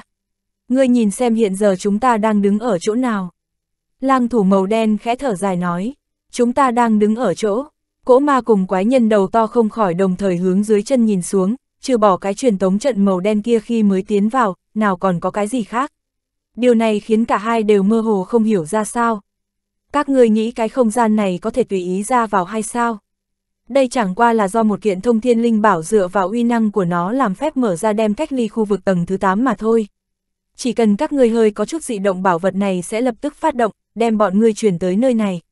Sau khi tiến vào nơi đây việc thoát ra cũng không phải là chuyện dễ dàng. Huống hồ ta bị nhốt ở trong này nhiều năm như vậy nguyên nhân chủ yếu cũng không phải do mấy cái ngoại lực này. Phiền toái lớn nhất lại là tại trên thân thể đầy đủ này của Ngân Nguyệt yêu lang. Lang thủ màu đen quay đầu lướt nhìn cái lang thủ màu bạc vẫn còn đang ngủ say bên cạnh thân thể, trong mắt sốt cuộc hiện lên một tia ngưng trọng. Cổ ma cùng quái nhân đầu to cũng không phải là người bình thường, vừa nghe xong lời này đều cùng nhìn về phía bất đồng với lang thủ màu đen là một cái lang thủ màu bạc, đều có chút giật mình thầm đoán lai lịch cái đầu này. Năm đó không phải nguyên thần của Ngân Nguyệt lang yêu này đã bị thánh tổ cắn nuốt sao, chẳng lẽ lại xảy ra chuyện gì khác ngoài ý muốn? Cổ ma trần chờ hỏi, hừ, năm đó ngươi cho ta làm như thế nào mà thất thủ bị bắt? Còn không phải là do lang yêu này bị ta phụ thân đã động tay động chân. Nó lại có đồng thời hai cái chủ thể nguyên thần, cái nguyên thần bị ta đánh trọng thương, lúc ấy ly thể bỏ chạy làm cho ta cứ tưởng là sau này bình yên vô sự. Không ngờ nguyên thần thứ hai không biết thi triển cái bí thuật gì ẩn giấu ở một nơi nào đó trong cơ thể, đợi tới khi ta đang cùng côn ngô tam lão đánh nhau đến lúc khẩn yếu quan đầu lại đột nhiên phản kích, ta mới rơi vào kết cục bị phong ấn nhiều năm như vậy. Lang thủ màu đen hiện lên một tia giận dữ nói, hai cái chủ thể nguyên thần, chẳng lẽ là nhất thể hai hồn hiếm thấy. Quái nhân đầu to nghe thấy vậy, không khỏi thất thanh kêu lên. Người cũng là người biết cũng không ít, còn ngân lang này đích xác là có được hai cái tinh hồn hoàn chỉnh, nguyên bản chính là chỉ có một cái lang thủ, nhưng ngay sau khi cái lang hồn thứ hai vừa hiện, thì lang thủ thứ hai cũng lập tức hiện ra. Lang thủ này cùng với ta tranh đoạt quyền khống chế của thân thể này. Mà không biết lang yêu này tu luyện công pháp quỷ dị gì, khi ta chiếm được thân thể này với thời gian dài như thế, nhưng lại không thể tra ra được trong đó có gì kỳ quái. Lang thủ màu đen lẩm bẩm nói, tựa hồ vẫn còn có sự khó hiểu rất lớn. Hiện giờ tinh hồn của lang yêu kia vẫn còn tồn tại sao? Đương nhiên còn tồn tại, sau khi bị những nhân loại tu sĩ bắt, ta mới biết được con ngân nguyệt lang yêu này lại là sủng phi của một trong linh giới bảy đại yêu vương thiên khuê thần lang, cũng là một trong những chân thân ít ỏi của linh giới phủ xuống nhân giới này. Ta lúc ấy có thể dễ dàng chiếm được thân thể lang yêu này, cũng là bởi vì khi đó yêu này vừa mới phủ xuống nhân giới, vẫn còn đang trong tình trạng nguyên khí tổn thương lớn. Nếu không, lấy tu vi tại thời kỳ toàn thịnh của ngân lang này, với chỉ một tia phân hồn của ta, cũng không nhất định dễ dàng đắc thủ. Tuy nhiên chuyện ngân lang này một thể hai hồn, đúng thật làm cho ta ngoài ý muốn, khiến ta ăn phải đau khổ cũng không nhỏ. Tuy nhiên khi đó ta chiếm cứ được thân thể này cũng được vài năm, hơn phân nửa thân thể cũng đã bị ta ma hóa thành công. Cho dù ta bị bắt mặc cho bọn chúng xử trí, những nhân loại tu sĩ đó cũng không thể bức ta ra khỏi thân thể này, cũng không dám mạo muội động thủ đem ta cùng thân thể này đồng loạt hủy diệt. Đành phải tạm thời đem ta phong ấn trong chấn ma tháp này. Lang thủ màu đen từ từ kể lại chuyện cũ, cổ ma cùng quái nhân đầu to nghe xong thượng cổ bí văn này không khỏi ngẩn ngơ. Nói như vậy, lang hồn thứ hai kia hiện giờ đang ở trong thân thể này. Cổ ma cười khổ một tiếng, bốn con mắt cự đại đồng thời mở to hướng về phía lang thủ màu bạc. Hiện tại thì không có gì, tuy sau một hồi nữa nàng cũng sẽ tỉnh lại. Lại nói tiếp các người cũng coi như là gặp may mắn, như thế nào vào đây lại đúng lúc ta tỉnh lại. Lang thủ màu đen nhẹ nhàng cười duyên một tiếng, thánh tổ đại nhân, đây là có ý tứ gì? Cổ ma trong tâm cảm thấy dùng mình hỏi. Rất đơn giản, lúc trước cổ tu dùng hắc kỳ đem biến nơi đây thành một chỗ không có linh khí, rồi đem ta phong ấn ở đây, cố ý đem nguyên thần thứ hai của lang yêu kia rút ra. Mặt khác không tiếc khí lực mạnh mẽ kiến tạo một tòa cung điện linh khí sung túc, đem nó an trí ở trong đó. Kể từ đó tinh hồn thứ hai vị sủng phi của yêu vương này, bắt đầu cơ hồ cách một khoảng thời gian ngắn lại phản hồi về cơ thể cùng ta tranh đoạt quyền khống chế thân thể, một khi chống đỡ không nổi liền lập tức trở về chỗ cung điện an trí kia, một lần nữa khôi phục lại nguyên khí bị hao tổn. Mà ta bởi vì bị phong ấn duyên cớ, chỉ có thể dựa vào ma khí trong thân thể để đối kháng hành động của nàng này, dưới nhiều năm như vậy, không bao lâu ta rơi vào thế hạ phong. Bởi vì không muốn buộc thoát ly ra khỏi thân thể này. Ta bất đắc dĩ phải sử dụng phương pháp dung hồn để đối kháng nàng. Lang thủ màu đen bình tĩnh dị thường nói, cái gì, dung hồn, ngươi đã muốn, cổ ma bốn mắt trợn lên lộ ra vẻ hoảng sợ, trong lúc nhất thời cũng quên cả kính ngữ. Đúng vậy, ta liền cùng lang hợp hai làm một hóa thành một cái tân hồn, hơn nữa coi thần thức của nàng là chính, của ta làm phụ, tuy nhiên ngay từ đầu dung hợp tân hồn chẳng những không ổn định hơn nữa lúc trước khi mới nhìn thấy tân hồn, nhân loại của tu sĩ cũng đã biết tình hình của ta và nàng dung hợp, căn bản là không thừa nhận thân phận của nàng, vì vậy cũng không có cởi bỏ phong ấn thả nàng ra ngoài, nhưng căn cứ vào thân phận đặc thù của nàng, cũng không dám dễ dàng ra hại nàng, vì vậy đối với côn ngô sơn rõ ràng cũng không thèm để ý. Hoàn toàn đem toàn bộ cả quả núi này cấm chế. Kể từ đó hai cái tinh hồn của ta và nàng lại rơi vào tranh đấu, trong tình trạng dung hợp quỷ dị, thẳng tới hơn vạn năm, một lần nữa dung hợp mới hoàn toàn ổn định và đạt tới trạng thái dung hợp hoàn mỹ. Nhưng mấy ngày trước đây, tân hồn vì đem một gã hóa thần tu sĩ lén trộm tới đây kéo vào trong huyễn diệu thiên tược, làm cho thần thức bị tổn hao nhiều, tinh hồn của ta và lang yêu kia lại một lần nữa phân liệt mà ra, phỏng chừng đây cũng là lần cuối cùng phân liệt ly khai. Chờ cho tới khi lang hồn thứ hai kia tại cái nơi linh khí dư thừa ngủ say sau khi tỉnh dậy, sẽ lại một lần nữa dung hợp thành một thể. Lang thủ màu đen kể chút sự tình cho tới đây, Thủy Trung vẫn duy trì một khẩu khí lạnh nhạt. Mà cổ ma cùng quái nhân đầu to nghe thấy thì trợn mắt há mồn. Thánh tổ đại nhân, sau khi dung hợp với lang yêu thành tân hồn, vẫn còn là một thành viên của thánh tộc chúng ta. Cổ ma sau nửa ngày sửng sốt, cười khổ hỏi một tiếng. Ngươi cứ nói đi, lang thủ màu đen lơ đĩnh hỏi lại một câu. Cỗ ma nghe xong cũng chỉ có thể không nói gì mà chống đỡ. Nếu nói cho chúng ta cẩn thận như vậy, hẳn là ngài có biện pháp nào đó để ngăn cản việc này, có lời gì các hạ có thể nói thẳng cho chúng ta là được. Quái nhân đầu to sau một lúc cân nhắc, đột nhiên nói như vậy. Âu, lại nói tiếp, ta còn không có hỏi ngươi, ngươi thân là nhân loại nhưng như thế nào lại ra tay tương trợ huyết diễm, hẳn là có mưu đồ gì đó. Ta xem thân thể của ngươi sở hữu sinh khí cũng không còn nhiều lắm, chắc đại nạn không lâu nữa sẽ tới, ngươi làm như vậy là muốn cho bản thánh tổ vì ngươi mà quán chú ma khí sao? Lang thủ màu đen trong mắt tử mang chấp động, thâm ý hỏi lại một câu sâu sắc. Ngươi sớm đã nhìn ra, bản nhân cũng không có gì phải giấu giếm. Diệp mỗ tình nguyện vĩnh viễn đi theo ma đạo, cũng tuyệt không muốn như vậy tỏa hóa mà chết. Nếu mà như thế, ta đây gần ngàn năm vất vả khổ tu cùng với vô số lần vào sinh ra tử, đều là vì cái gì? Chẳng lẽ bởi vì sinh ra từ cát bụi lại trở về với cát bụi sao? Nói chuyện cho tới bây giờ, quái nhân đầu to, cũng không có một chút che giấu ý tứ, sắc mắt cũng mơ hồ hiện lên vẻ dữ tợn. chương 1018, gặp lại Nguyên Quang. Lời này thật thẳng thắn, không có cái gì quanh co. Ngươi có thể giúp bản thánh tổ từ nơi này thoát khốn mà ra ngoài, bản thân ta cũng có thể thi triển quán ma nhập thể giúp ngươi. Trước tiên ta cũng không nói dối ngươi, lấy tình hình thân thể hiện nay của ngươi, sau khi nhập ma nhiều lắm cũng chỉ có nửa phần cơ hội làm cho ngươi tiến giai. Tuy nhiên, thánh tộc chúng ta vốn thọ nguyên vượt xa nhân loại tu sĩ các ngươi, cho dù không có tiến giai thành công, sau khi quán ma thọ nguyên đồng dạng cũng có thể tăng lên không ít. Ngươi vẫn có thể tiếp tục tu luyện tiến giai lên hóa thần kỳ. Lang thủ màu đen ánh mắt đảo qua trên người quái nhân đầu to, thần sắc như thường nói. Một nửa, cho dù chỉ có một phần mười, Diệp Mỗ cũng sẽ mạo hiểm thử một phen. Như thế nào có thể giúp ngươi thoát khốn, cứ việc nói ra. Quái nhân đầu to cuồng tiếu một tiếng, không chút do dự nói.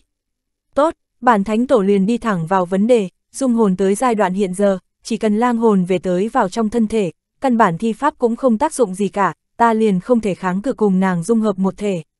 Phương pháp duy nhất có thể ngăn cản, cũng chỉ có cách là tại địa phương mà Ngân Nguyệt lang hồn đang ngủ say giết chết lang hồn. Mà năm đó côn ngô tam lão đã tự tay bố trí diệt tuyệt đại trận, trận này dùng 81 khẩu chu ma đao hợp thành, nếu mà người nào thân mang ma khí tới gần nơi đó, sẽ bị toàn bộ đao này kết hợp thành một trận pháp đầy uy lực chém thành thịt nát. Huyết diễm thì không thể phá giải được trận này. Ta xem đạo hữu tu luyện công pháp, tuy rằng không phải là pháp môn của chính phái, nhưng cũng không phải là tà đạo ma công, việc tiêu diệt lang hồn cũng chỉ có thể giao cho đạo hữu, chỉ cần hoàn thành việc này, việc quán ma cứ giao cho trên người bản thánh tổ. Lang thủ màu đen thanh âm rõ ràng vẫn như lúc trước, nhưng khi tới tai quái nhân đầu to lại tràn ngập vô tận hấp dẫn, làm cho hắn ngóng nhìn lên cự lang, sắc mặt hiện lên vẻ kiên định. Cái lang hồn kia ở địa phương nào? Một lát sau, vị diệp gia quái nhân này cắn răng một cái nói, một chút y tứ cỏ kè mà cả cũng không có. Diệp đạo hữu quả nhiên là người thông minh, các ngươi khi truyền tống vào đây chắc thấy hai cái truyền tống trận, cái truyền tống trận còn lại kia chính là đi thông tới cung điện an trí lang hồn kia. Lang thủ màu đen thấy quái nhân không hề do dự tính toán, trong mắt lộ ra một tia hân thưởng, cũng lưu loát nói. Theo như lời ngươi nói, nếu là cái truyền tống trận kia thì trong tông môn của ta cũng đã có người đi trước vào trong đó rồi, với thời gian cũng không có ngắn, giải quyết cũng có chút khó khăn, tuy nhiên nếu âm thầm ra tay, đối phó bọn họ cũng là chuyện dễ dàng. Ta đây liền nhanh chóng đuổi theo, giết chết cái lang hồn kia. Quái nhân đầu to thì thào vài tiếng, sau đó hai tay bắt quyết niệm thần chú, truyền tống trận dưới chân linh quang chấp động, nhưng lại thật sự truyền tống đi ra ngoài. Nhất thời phụ cận truyền tống trận chỉ còn lại một ma một lang. Vừa rồi có nhân loại tu sĩ ở đây, cũng không tiện hỏi ngươi thêm cái gì. Hiện tại ngươi có thể nói cho ta biết siêu tầm được những món ma khí nào. Sau khi thân hình quái nhân biến mất, lang thủ màu đen ánh mắt chợt trầm xuống, một cỗ hơi thở dày đặc chợt phát ra, xiềng xích trên người cũng trong phút chốc phát ra một trận tiếng động, đồng thời thả ra vô số đạo ô hắc thứ mang, không một chút do dự đâm vào trong cơ thể cự lang. Nhưng lang thủ màu đen thần sắc lại không có một chút thay đổi bộ dạng nhìn như không thấy. Khởi bẩm thánh tổ, đã tìm được 5 món ma khí mà lúc trước tộc nhân di lưu lại ở nhân giới. Cổ ma nhất thời khom lưng, càng thêm cung kính trả lời. Năm kiện ma khí cũng có thể miễn cưỡng đủ dùng, lập tức bố trí đi, tuy rằng hiện tại ta chỉ có thể khống chế một nửa pháp lực của thân thể này. Nhưng chỉ để dẫy dụa thoát khốn, cũng đủ để đánh tan cấm chế của Hắc Phong Kỳ. Cho dù nó là thông thiên linh bảo nếu không có chủ nhân chủ trì mà nói thì cũng chỉ là một vật chết mà thôi. Lang thủ màu đen âm trầm nói, giả cổ ma vừa nghe xong lời này, không một chút do dự bốn bàn tay hư không vung lên. Đồng thời hắc mang chợt lóe, trên bốn bàn tay đều xuất hiện một kiện hắc ma khí. Một cái mặc kính, một mũi huyết sắc lệnh tiến, một đóa ngọc liên cùng với một chiếc nhẫn màu xám trắng. Mà một cái đầu cổ ma mở mồm trực tiếp phun ra một cái bình nhỏ màu đen. Nay năm kiện ma khí vừa hiện ra, lập tức liền xoay tròn trên đỉnh đầu cổ ma chuyển động không ngừng. Chiếc đầu cổ ma còn lại sau một tiếng thét dài thì cả người hắc quang chợt hiện, năm kiện ma khí chấn động, trực tiếp hướng phía trên cự lang bay tới. Mà cấm chế trên không trung lập tức như cảm ứng được cái gì, đồng thời linh quang đại phóng, các màu quang mang chấp động không ngừng. Toàn bộ không gian trong nháy mắt như đều sống lại. Hàn Lập tự nhiên cũng không biết có một con thượng cổ cự ma sẽ từ trong chấn ma tháp đang rãi rụa thoát khốn mà ra. Hắn lúc này đứng trước cửa của côn ngô điện, đang nhìn tình hình phía trong điện, trên mặt hiện lên biểu tình cổ quái. Bắc cực nguyên quang, thứ này như thế nào lại xuất hiện ở nơi này? Hàn Lập thì thào nói, ánh mắt nhìn khắp nơi, thấy phía trước giày đặc ngân sắc quang ti đang lượn lờ phía trước, tiếp tục nhìn kỹ thì thấy mấy cái này chính xác đã gặp qua trong trụy ma cốc không có gì sai biệt, tuy nhiên lúc này quang ti không phải từ trên các tảng đá phát ra, mà từ hơn trăm cái cột ở trong đại điện phun ra, đem tất cả đại điện bao phủ ở trong đó, căn bản không thấy rõ phía sâu trong đại điện rốt cuộc có cái gì. Đúng lúc này phía sau Hàn Lập bỗng nhiên truyền tới một tiếng cuồng tiếu, tựa hồ từ phía xa truyền tới, mang vẻ cực kỳ cản rỡ. Hàn đạo hữu không biết là người tính toán chủ động nhảy vào bắc cực nguyên quang, hay tính toán chờ ta một lát tới, để ta dùng pháp bảo tiễn ngươi một đoạn đường. Nghe thanh âm này, đúng là của thanh âm của kiền lão ma. Hàn lập đôi mày nhíu lại, quay đầu liếc mắt nhìn một cái. Chỉ thấy xuyên thấu của cửa đại điện, mơ hồ thấy nguyên tại hai hàng kim từ linh mộc chỉ còn lại có hơn 10 cây. đám người càn lão ma cùng nhóm yêu vật ngân xí dạ xoa cũng sắp sửa đuổi tới trước cửa đại điện. Bọn họ một bên vẫn đang dùng bảo vật công kích các cây đại thụ cuối cùng, một bên vẫn chú ý tới Hàn Lập ở phía sau cửa điện, một đám mỗi người đều thể hiện thần sắc khác nhau. Trừ bỏ các yêu vật đã biết sự tồn tại của Bắc Cực Nguyên Quang ngay từ đầu, còn những người khác đều là những kẻ kinh nghiệm phong phú, cơ hồ xa xa nhìn thấy tình hình trong thạch điện, lập tức đều nhận ra Bắc Cực Nguyên Quang. Kết quả tự nhiên phần lớn là vừa mừng lại vừa lo. Mừng là vì có Bắc Cực Nguyên Quang chắn đường, Hàn Lập không thể đi trước một bước tiến vào trong điện đoạt bảo. Lo chính là vì bọn họ tựa hồ cũng không thể xuyên qua Bắc Cực Nguyên Quang đột một xuất hiện này, và làm như thế nào để nhanh chóng vượt qua cấm chế này để đoạt bảo, đúng là một việc làm cho người ta đau đầu. Nhưng chính là nghe thanh âm cuồng tiếu của càn lão ma, mơ hồ nhận ra lão không thèm để tới việc đó chút nào. Bắc cực nguyên quang này đối với những tu sĩ không có sự chuẩn bị trước mà nói, tiến vào chỉ có con đường chết mà thôi, khó trách lão ma lại có bộ dáng vui sướng trước tai họa của người khác như vậy. Hàn lập hừ lạnh một tiếng, quay đầu lại, tay vỗ lên chữ vật túi ở bên hông, nhất thời một chiếc nhẫn màu đen từ trong túi bắn ra, ngay sau đó xoay quanh một cái rồi đón gió cuồng tăng, hóa thành một chiếc nhẫn có đường kính hơn một trượng lượn lờ phía trên đỉnh đầu hắn. Trên chiếc nhẫn có các ký hiệu chấp động, tựa hồ có chút bất phàm, đúng là một cái nhẫn trong lưỡng nghi hoàn. Hàn lập thong dong hướng chiếc nhẫn lớn điểm chỉ một cái, nhất thời chiếc nhẫn đón đầu hắn chụp xuống, đồng thời trên tay hắn bắn nhanh ra một đạo pháp quyết bắn vào phía trên mặt nhẫn, tiếp theo một cái quang cháo màu đen hiện ra, đem hàn lập bao kín bảo hộ vào phía trong. Vừa thấy cảnh này, tiếng cuồng tiếu của kiền lão ma lập tức đình chỉ, hơn nữa các yêu vật và các tu sĩ khác đồng thời ngẩn ngơ, trên mặt hiện ra thần sắc khó có thể tin được. Chẳng lẽ hắn thực sự có biện pháp xông qua bắc cực nguyên quang?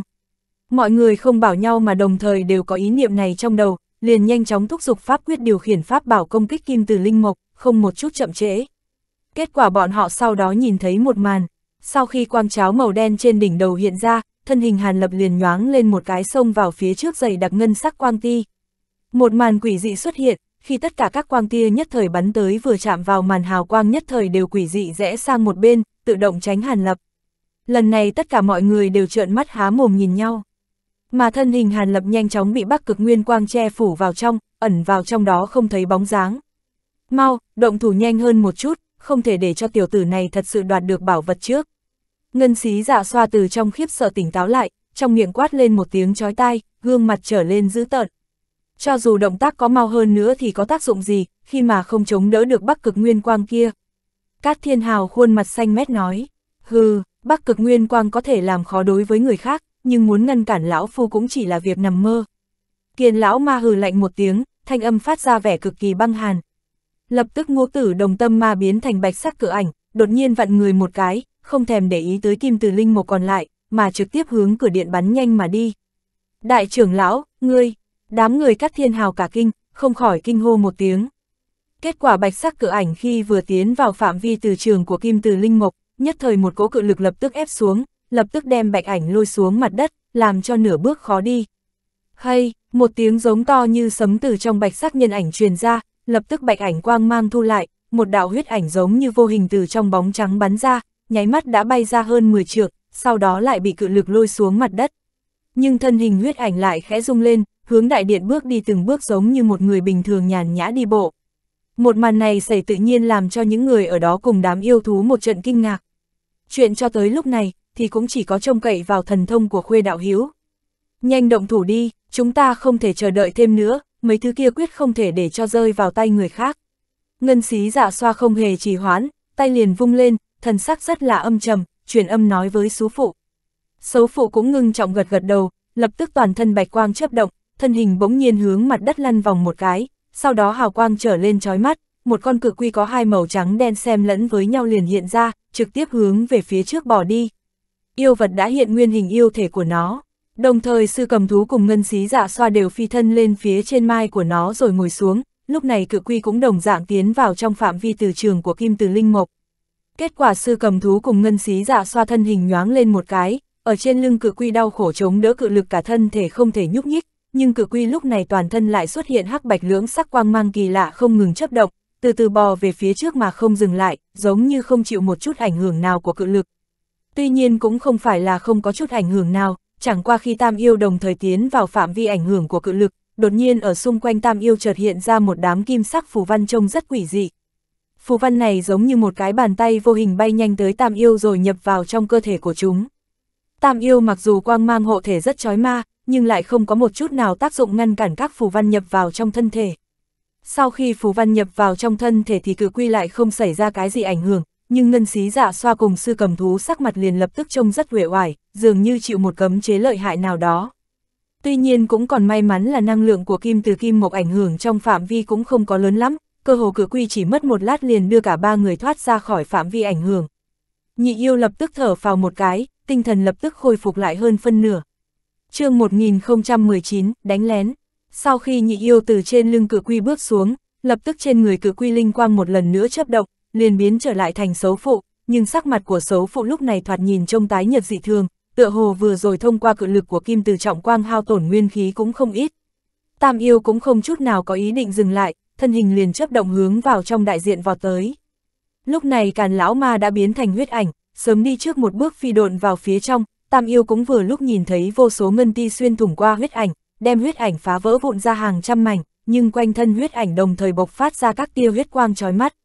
Thân thể đang bị tổn hại, không ngờ lại được tu bổ không ngừng. Dưới tình hình như vậy, huyết ảnh do càn lão ma biến thành cũng không có đình trệ, trong nháy mắt nhập vào trong bắc cực nguyên quang không thấy tông tích. Nhìn thấy cảnh này tam yêu cũng không chút trì hoãn, giống như đã sớm thông qua thương lượng đối sách, sư cầm thú thân hình nhoáng lên một cái đứng ở phía trước, đồng thời mồm như cái chậu máu há to ra.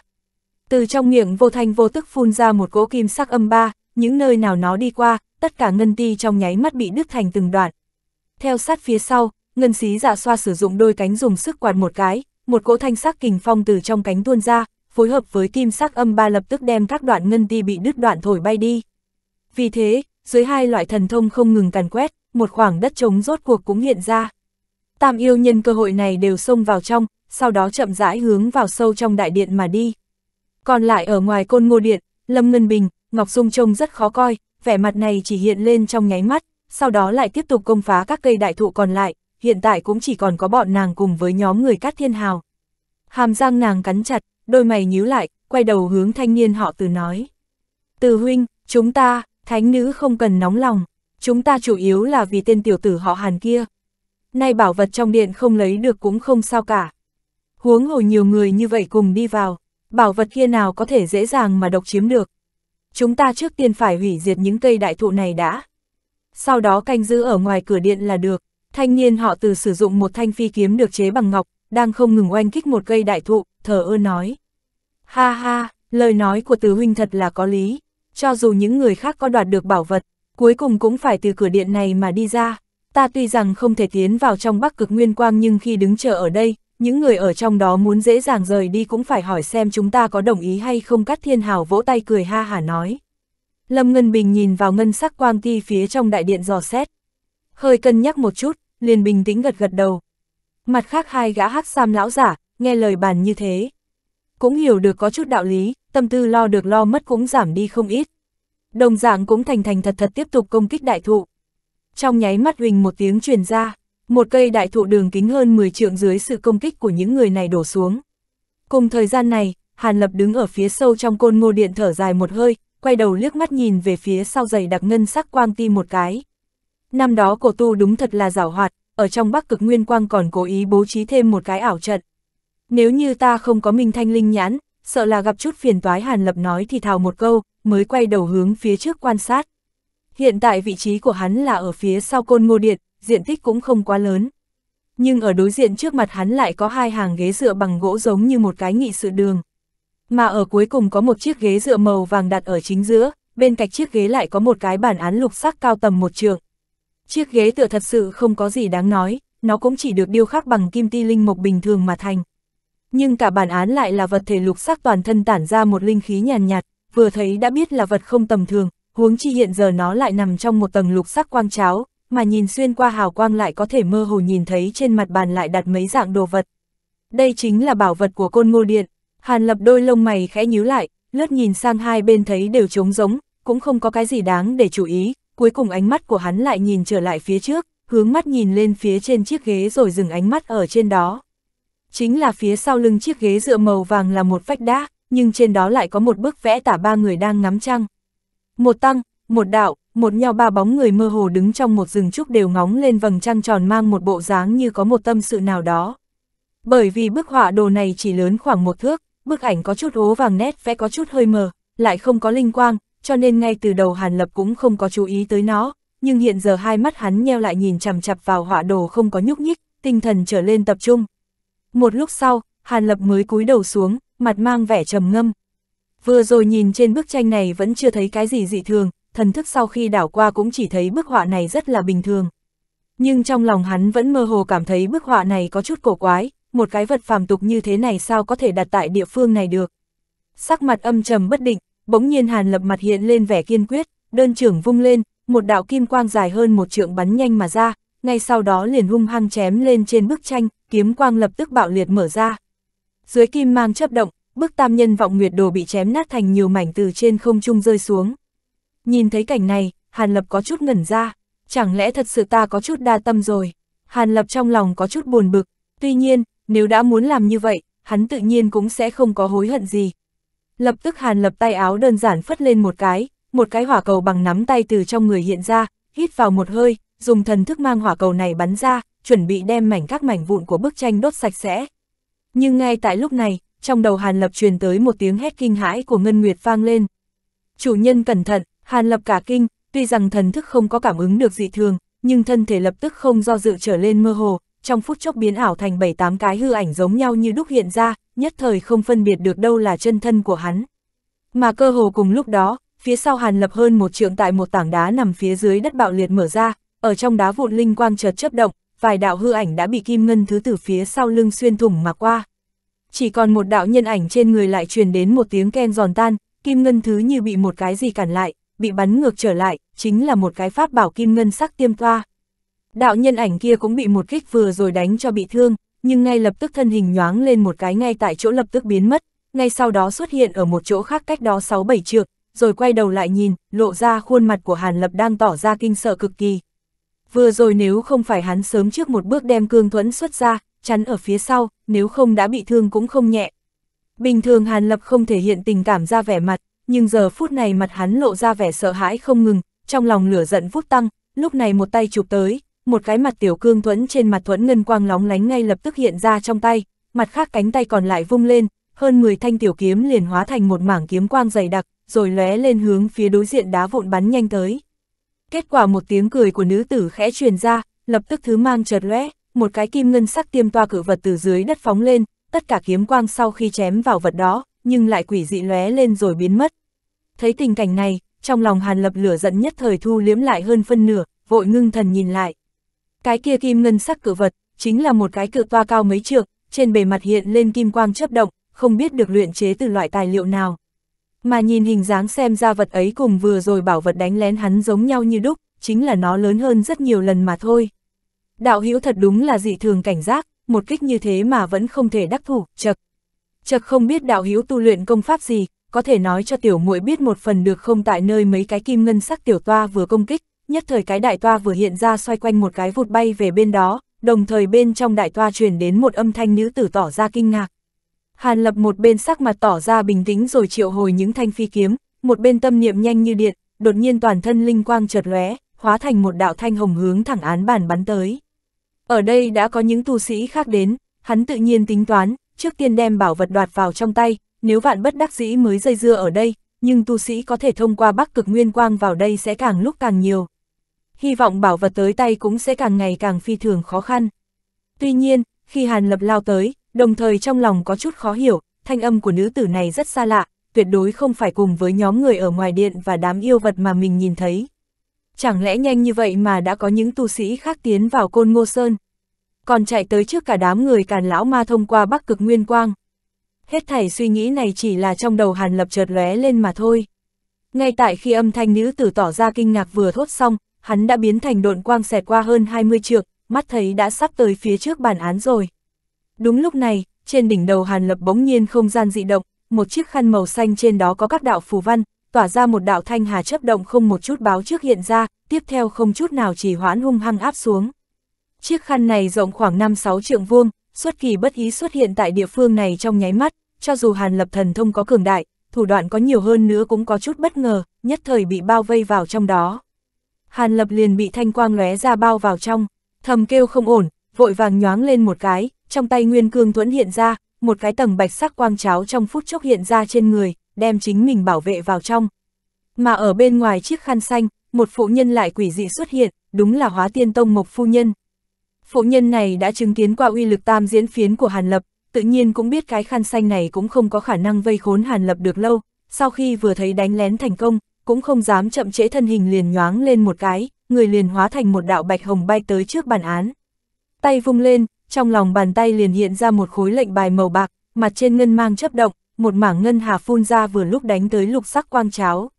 Thoạt nhìn quang cháo có vẻ chắc chắn dị thường, nhưng dưới sự chiếu rọi của ngân hà, giống như tuyết gặp nắng xuân nhanh chóng bị tan ra, trong chớp mắt biến mất vô tung vô ảnh, lộ ra bản án, trên đó có mấy thứ đồ vật hiện rõ chân diện trước mắt. Bốn cái huyết sắc mộc bài cùng nằm một chỗ, một thanh tiểu kiếm tử sắc, một cây hàng ma trượng, một quyển thư cuốn màu hồng và một chiếc ấn tỳ màu xanh, mặt ngoài chiếc ấn điêu khắc một con ngũ trảo chân long trong rất sống động. Nhìn thấy mấy thứ này, trên mặt phụ nhân hiện lên vẻ mừng rỡ, ánh mắt sau khi dừng lại trên ấn tỳ, lập tức tay áo liền phất lên một cái, muốn sở hữu đoạt vào trong túi chương 1020, đoạt bảo. Tại lúc phụ nhân sắp đoạt bảo vật vào tay, đột nhiên tại chỗ phụ nhân vừa đứng, lục quang chợt lóe, vài đạo lục sắc trường xà lập tức bắn tới nhanh như tia chớp, sau vài cái xoay quanh, đã đem phụ nhân cuốn lại giống như cuốn bánh, mấy cái miệng xà hung hăng táp tới bất ngờ như xét đánh không kịp bưng tai. Phanh, phanh, phanh vài tiếng vang lên, cũng không biết trên người phụ nhân mang loại thông linh pháp khí gì, không thấy thi pháp mà một tầng bạch sắc quang cháo liền tự động hiện ra. Làm cho thanh xà ngược lại bị bắn trở lại, rồi hiện ra nguyên hình, chính là mấy cái thông lục đằng mạn. Lần này Mộc Phu Nhân cũng giống như Hàn Lập lúc trước vừa sợ vừa giận. Nàng tuyệt đối không nghĩ tới lại có hoàng tước đi theo sau chim sẻ. Trước đây vây khốn Hàn Lập, nàng chủ động dùng pháp khí mở ra phía trước vòng quang cháo của bản án để đánh lén, chẳng phải đó là hành động lúc trước của nàng đó sao? Nay người đánh lén rốt cuộc không biết là người phương nào, làm sao có thể từ mặt sau của Nhật Nguyệt Hoa mà mình không có một chút nào phát hiện nào. Phải biết rằng nàng lẻn tới nơi đây thần không biết quỷ không hay, tất cả đều dựa vào ngân bài mà lúc trước côn ngô tam lão lưu lại. Lệnh bài này chính là có thể tạm thời khống chế một bộ phận cấm chế trong điện. Làm cho nàng có thể âm thầm từ đường ngầm khống chế Nhật Nguyệt Toa chạy đến đây trước những tu sĩ khác. Lúc này một tiếng cười khạc, khạc quỷ dị khó nghe truyền ra, tiếp theo một cái nhân ảnh màu lục cao lớn từ phụ cận đường ngầm vô thanh vô tức xuất hiện.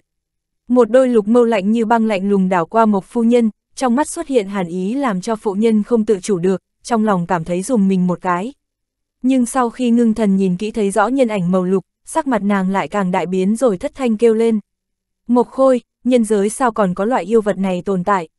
Lục ảnh này nhìn tuy rằng có đủ đầu và tay chân, bộ dáng có chút giống con người, nhưng vô luận là bộ mặt hay thân thể tất cả đều được bao trùm bởi vô khối các tấm vỏ cây, nhìn giống như một cái cây biết đi. Mộc khôi nghe thấy phụ nhân kêu lên kinh ngạc như vậy, trong mắt hiện lên một tia châm biếm, căn bản không hề để ý tới phụ nhân, ngược lại thân hình lập tức chấp động hóa thành một đoàn lục quang hướng phía trên bản án lao tới. Nó cũng muốn đem tất cả những bảo vật này đều thu vào trong túi. Một phụ nhân trong lòng trầm xuống, nàng hiện tại cho dù có thể thoát khốn mà ra, cũng căn bản không kịp ngăn cản yêu vật này. Nhưng một màn không thể tin được xuất hiện, một khôi biến thành quang đoàn chưa kịp tới gần bản án, thì trước bàn những mảnh vụn của bức họa tam nhân vọng nguyệt đồ mà trước đó Hàn Lập vừa chém vụn. Đột nhiên hóa thành nhiều điểm linh quang chấp động, đồng thời phun ra ba cỗ quang hà màu vàng, trắng và hồng phát ra. Quang hà đón đầu đánh tới, nhưng lại đem lục quang giống như một quả bóng cao su đập vào tường rồi nhanh chóng nảy ra xa vài chục trường. Kết quả sau khi màn lục quang chợt tắt, hiện ra thân hình mộc khôi bị ngã lăn ra thân thể không ngừng run rẩy. Lúc này yêu vật to lớn nhưng lại giống như không thể tự động điều khiển được thân thể, liên tiếp ở tại chỗ xoay đi xoay lại mấy lần, mới miễn cưỡng có thể đứng vững được, rồi ngẩng đầu nhìn về phía Quang Hà, đôi mắt màu lục lộ ra vẻ tràn đầy sợ hãi không thể nói lên lời.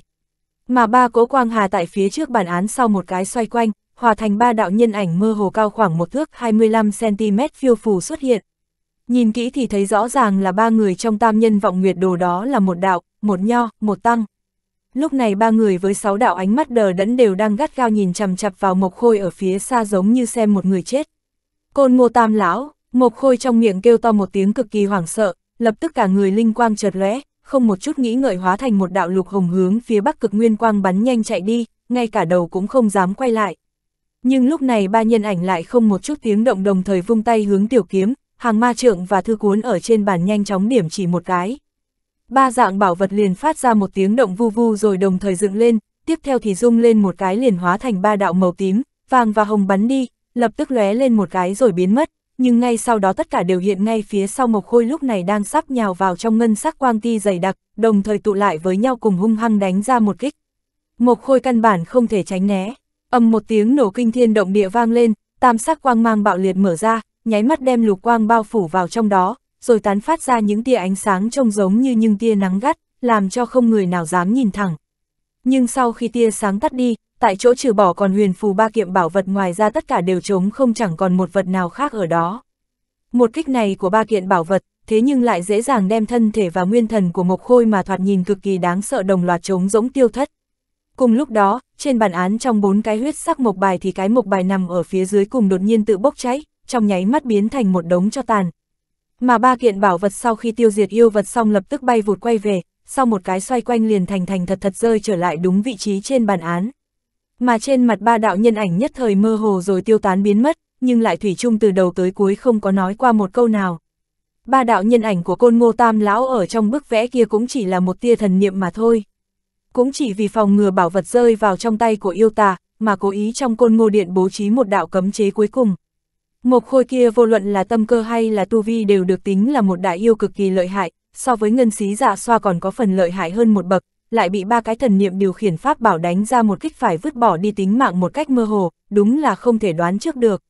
Mộc phu nhân trước tiên là kinh sợ sau đó thì cực kỳ vui mừng, trên người lục đằng tại khi mộc khôi vừa mất mạng liền từ cứng rắn như sắt biến thành một cái mạn đằng bình thường, lập tức nàng phóng ra màu trắng linh hỏa đồng thời đem mấy cái thứ này đốt thành hư vô.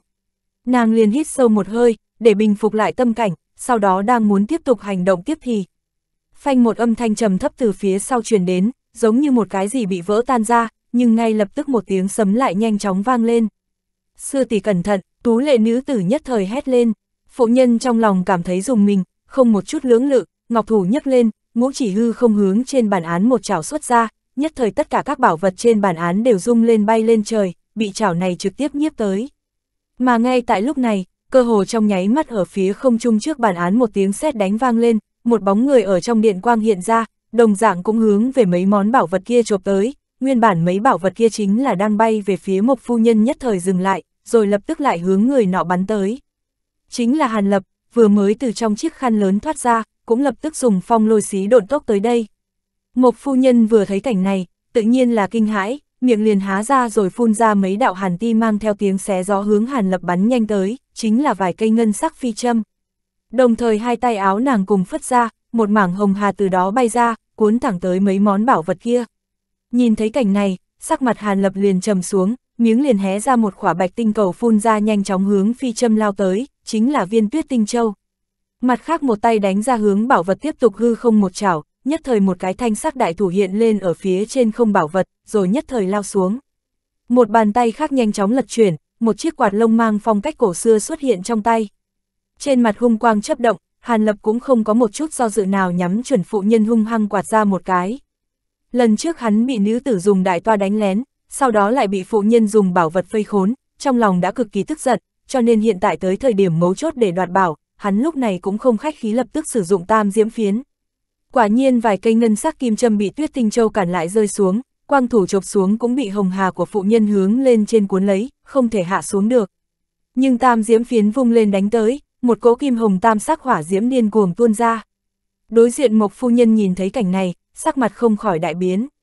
Nàng chính là đã tận mắt chứng kiến qua uy lực đáng sợ của tam diễm phiến, tự nhiên cũng biết với uy lực của phiến này không phải nàng có thể có khả năng đón đỡ được, rơi vào đường cùng, bất chấp bảo vật, thân hình chỉ có thể nhoáng lên một cái bắn nhanh ra xa.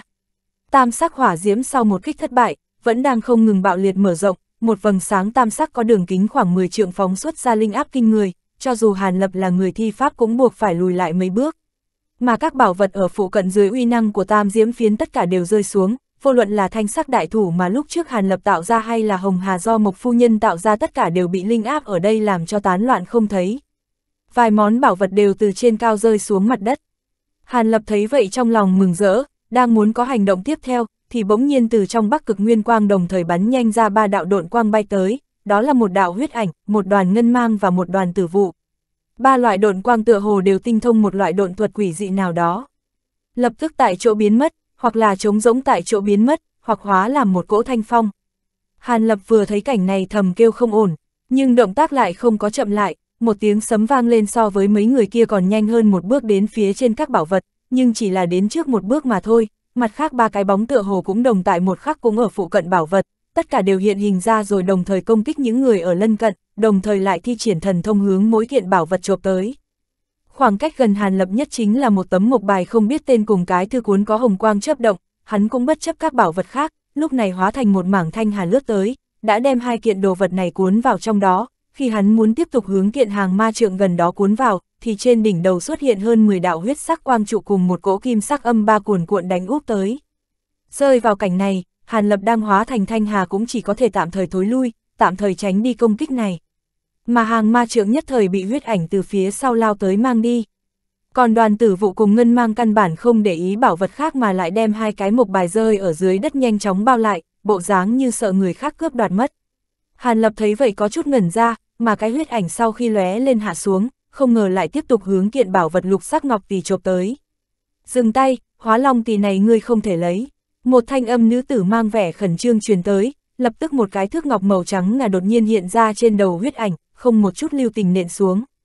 Thước này thật sự cổ quái, chưa chân chính đánh xuống mà trên thước lại đột nhiên truyền ra một tiếng niệm Phật bằng phạm âm, vô số đóa nhũ bạch sắc liên hoa, giống như thiếu nữ tán hoa ở phụ cận trên một phạm vi không trung lớn hiện ra, mỗi đóa có lớn có nhỏ khác nhau, trên đóa liên hoa tại mỗi cánh hoa đều tỏa ra thất sắc Phật quang, chẳng những huyết ảnh mà ngay cả mặt khác ngân đoàn cùng đoàn tử vụ cũng đều bị bao vào trong phạm vi của liên hoa.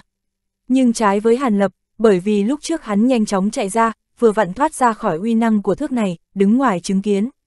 Kết quả làm cho Hàn Lập trợn mắt há hốc mồm, tất cả bạch liên tại một tiếng quát của nữ tử kia đồng thời bạo liệt mở ra, lập tức hóa thành một đóa thất sắc cự liên với những cánh hoa đang từ từ nở rộ mở ra, vô số Phật văn từ trong mỗi cánh liên hoa mạnh mẽ phun ra, tiếng niệm Phật bằng phạm âm lại giống như tiếng sấm vang vọng toàn bộ đại điện.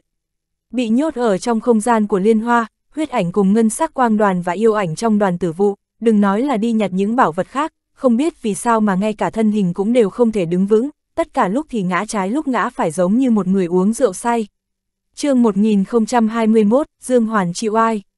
Lúc này ở trước mắt Hàn Lập là một kỳ cảnh khiến người ta phải kinh ngạc, miếng kim cương cháo kia ẩn sâu trong cơ thể, nhưng lại xuất hiện cùng với cự liên, một chướng một co cảm ứng lẫn nhau.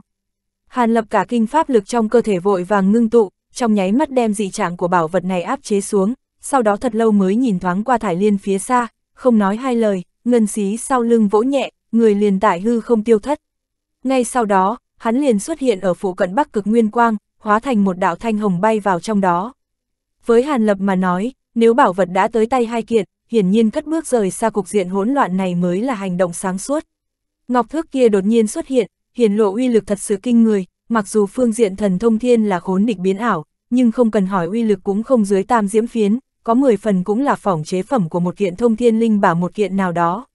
Hắn mặc dù đối với việc chủ nhân thước này mới vừa rồi đánh lén bản thân trong lòng đại hận, nhưng cũng sẽ không lựa chọn sau này cùng đối phương cứng đối cứng. Dù sao vô luận kiền lão ma hay là ngân xí dạ xoa nọ đều cùng hắn không hòa thuận lắm. Vạn nhất bị mấy người kia vây công, hắn cho dù thần thông có lớn thế nào cũng không thể không chết ở nơi này. Ở trên kim ngân cự toa, nữ tử tú lệ hóa tiên tông nọ, hai tay kết quyết thúc dục chuôi bạch sắc ngọc thước này, vẻ mặt cố hết sức. Cho nên mặc dù thấy Hàn Lập thoáng chốc rút lui, cũng không rảnh mà để ý. Chỉ cần Hàn Lập cũng không lấy đi hóa long ấn nọ là tối trọng yếu. Nàng này cũng chỉ có thể coi như không thấy. Lúc này phụ nhân vốn bởi vì uy thế của Hàn Lập nên nhất thời phải bay ra ngoài, vừa thấy sư muội của mình đem đám người kiền lão ma vây lại, cũng chỉ có thể oán hận liếc mắt nhìn phương hướng Hàn Lập biến mất, người lại vèo một tiếng hóa thành kinh hồng ẩn nhập vào trong cự đại thải liên. Cũng không biết là do nữ tử xinh đẹp điều khiển chế ngự, hay là thần thông của phụ nhân bản thân không sợ thải liên nọ, tại bên trong cự liên không bị uy năng bảo vật ảnh hưởng đến chút nào, dễ dàng lấy được hóa long ấn nọ. Nhưng ngay khi ống tay áo nàng cuộn lại, đem thanh tiểu kiếm màu tím nọ cũng thu vào trong tay, thất sắc Phật quang chợt lóe tại chỗ đám người bị liên hoa vây lại, tắc tắc sụp đổ. Hóa ra kiền lão ma cùng nhị yêu nhất thời thoát khỏi áp chế, sau khi ổn định thân hình, lục đạo hung quang đồng thời trợn trừng hướng về phía phụ nhân. Đúng là nữ tử trẻ tuổi nọ hết pháp lực vô phương duy trì, mà làm cho uy năng của tứ tượng xích phải thu lại. Sắc mặt phụ nhân liền biến đổi, Hàn Lập bên này vừa mới chui vào bắc cực nguyên quang, nhưng lại đụng phải tên huyền nham quy biến thành số phụ kia. Yêu vật này cả người hiện lên một thân chiến giáp màu xanh quái lạ. dưới một kích của ngân sắc quang ti những thứ này căn bản vô kiên bất tồi sao vậy mà lại bị chặn lại rồi bắn ngược trở ra, cho phép nó ở tại trong bắc cực nguyên quang bình yên vô sự. Nhưng kỳ quái chính là số phụ giờ phút này chỉ là đi từng bước một. Tựa hồ bộ dáng vô phương thi triển độn thuật, sao vô kiên bất tồi, không gì không xuyên thủng, không trách được ngân xí dạ xoa nọ cùng sư cầm thú bỏ nó lại, đi trước một bước. Hàn Lập vừa xuất hiện ở chỗ này trước mặt yêu phụ tự nhiên liếc mắt cũng nhìn thấy. Sau khi ngẩn ra, nó lập tức lộ ra vẻ cảnh giác. Một cây pháp bảo dạng côn đen nhánh hiện lên ở tại trước người đồng thời một đôi mắt quay tròn quét qua người Hàn Lập liên tục. Hàn Lập thần sắc như thường, lúc này độn quang chợt lóe rồi chạy về một hướng khác. Hắn cùng yêu phụ này cũng không có khúc mắc gì, trong lòng cũng không có ý nghĩ trừ yêu dáng ma, mà yêu phụ này tại trong bắc cực nguyên quang chịu hạn chế không nhỏ phỏng chừng cũng sẽ không chủ động xuất thủ. Nhưng lúc này đây, Hàn Lập lại tính sai.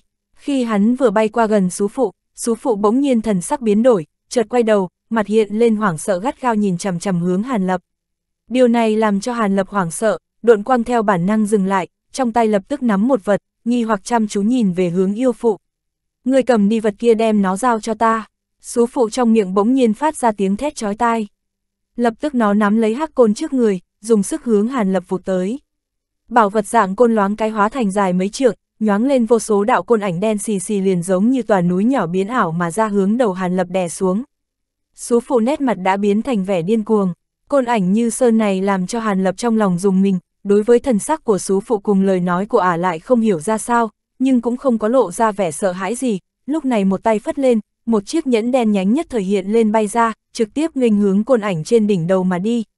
Số phụ ở xa thấy vậy, trong lòng mừng rỡ, côn trong tay nàng, chính là lúc bị nhốt dưới đất thu thập ngũ kim tinh luyện hóa mà thành, lại trải qua hơn vạn năm không ngừng bồi luyện, đã sớm thành một kiện bảo vật khó lường. Những côn ảnh biến ảo này thoạt nhìn không ra gì, nhưng mỗi một côn đều đã có ngàn cân khí lực, nàng tuyệt đối có tự tin, chiếc nhẫn soàng xính này vừa tiếp xúc lập tức sẽ bị đánh cho nát bấy. Nghĩ như thế, yêu phụ trong lòng bạo ngược nổi lên. Nhất thời không tiếc cạn kiệt kích phát tiềm lực, lại hướng cây côn mặc sức rót vào vài phần linh lực, khiến côn ảnh lại lần nữa tăng hơn phân nửa, chuẩn bị như vậy chốc lát đem Hàn Lập đánh gục ở chỗ này, đoạn trừ hậu hoạn.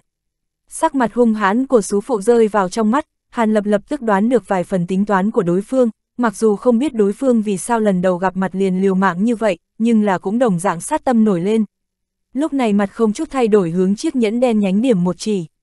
Chiếc nhẫn mau chóng tiếp xúc côn ảnh trước trong nháy mắt, đột nhiên phát ra âm thanh vù vù.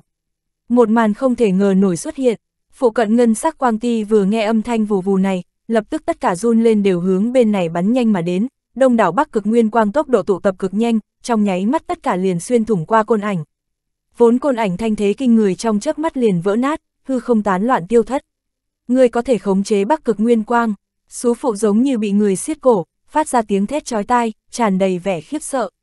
Lưỡng nghi hoàn chia làm âm dương nhị hoàn, âm hoàn trên người thì không sợ nguyên quang thương hại đến bản thân, dương hoàn nơi tay mới có thể thao túng nguyên quang tấn công địch, chiếc nhẫn hắc sắc này đúng là dương hoàn nọ.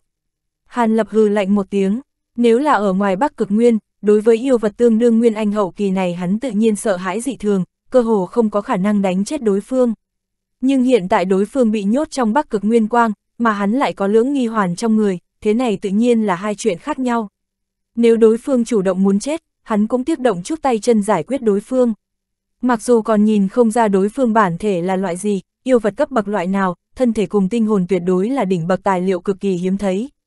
Trong lòng nghĩ như thế, Hàn Lập cũng không còn tâm tư cùng yêu vật này giải thích cái gì, đưa tay một đạo pháp quyết đánh vào trên chiếc nhẫn. Sau khi chiếc nhẫn xoay quanh một cái, âm thanh vù vù càng vang lên thêm, dưới ảnh hưởng của quang mang màu đen thần bí, ngân sắc quang ti trong phạm vi hơn 10 trượng đều chịu khống chế của hoàn này, ở dưới thần niệm Hàn Lập vừa động, bốn phía bắc cực nguyên quang lập tức nổi lên một mảng cuộn sóng màu bạc, sóng sau liền sóng trước quét tới xú phụ. Xú phụ miệng thét lên một tiếng kinh hãi, cô còn dám khu xử bảo vật đối phó Hàn Lập, vội vàng há mồm phun ra một đoàn huyết sắc hắc hồng, hai tay kết huyết, tinh huyết hóa thành một đoàn huyết vụ trong nháy mắt trùm lên chiến giáp trên người. Lập tức chiến giáp này từ màu xanh biến thành màu đỏ.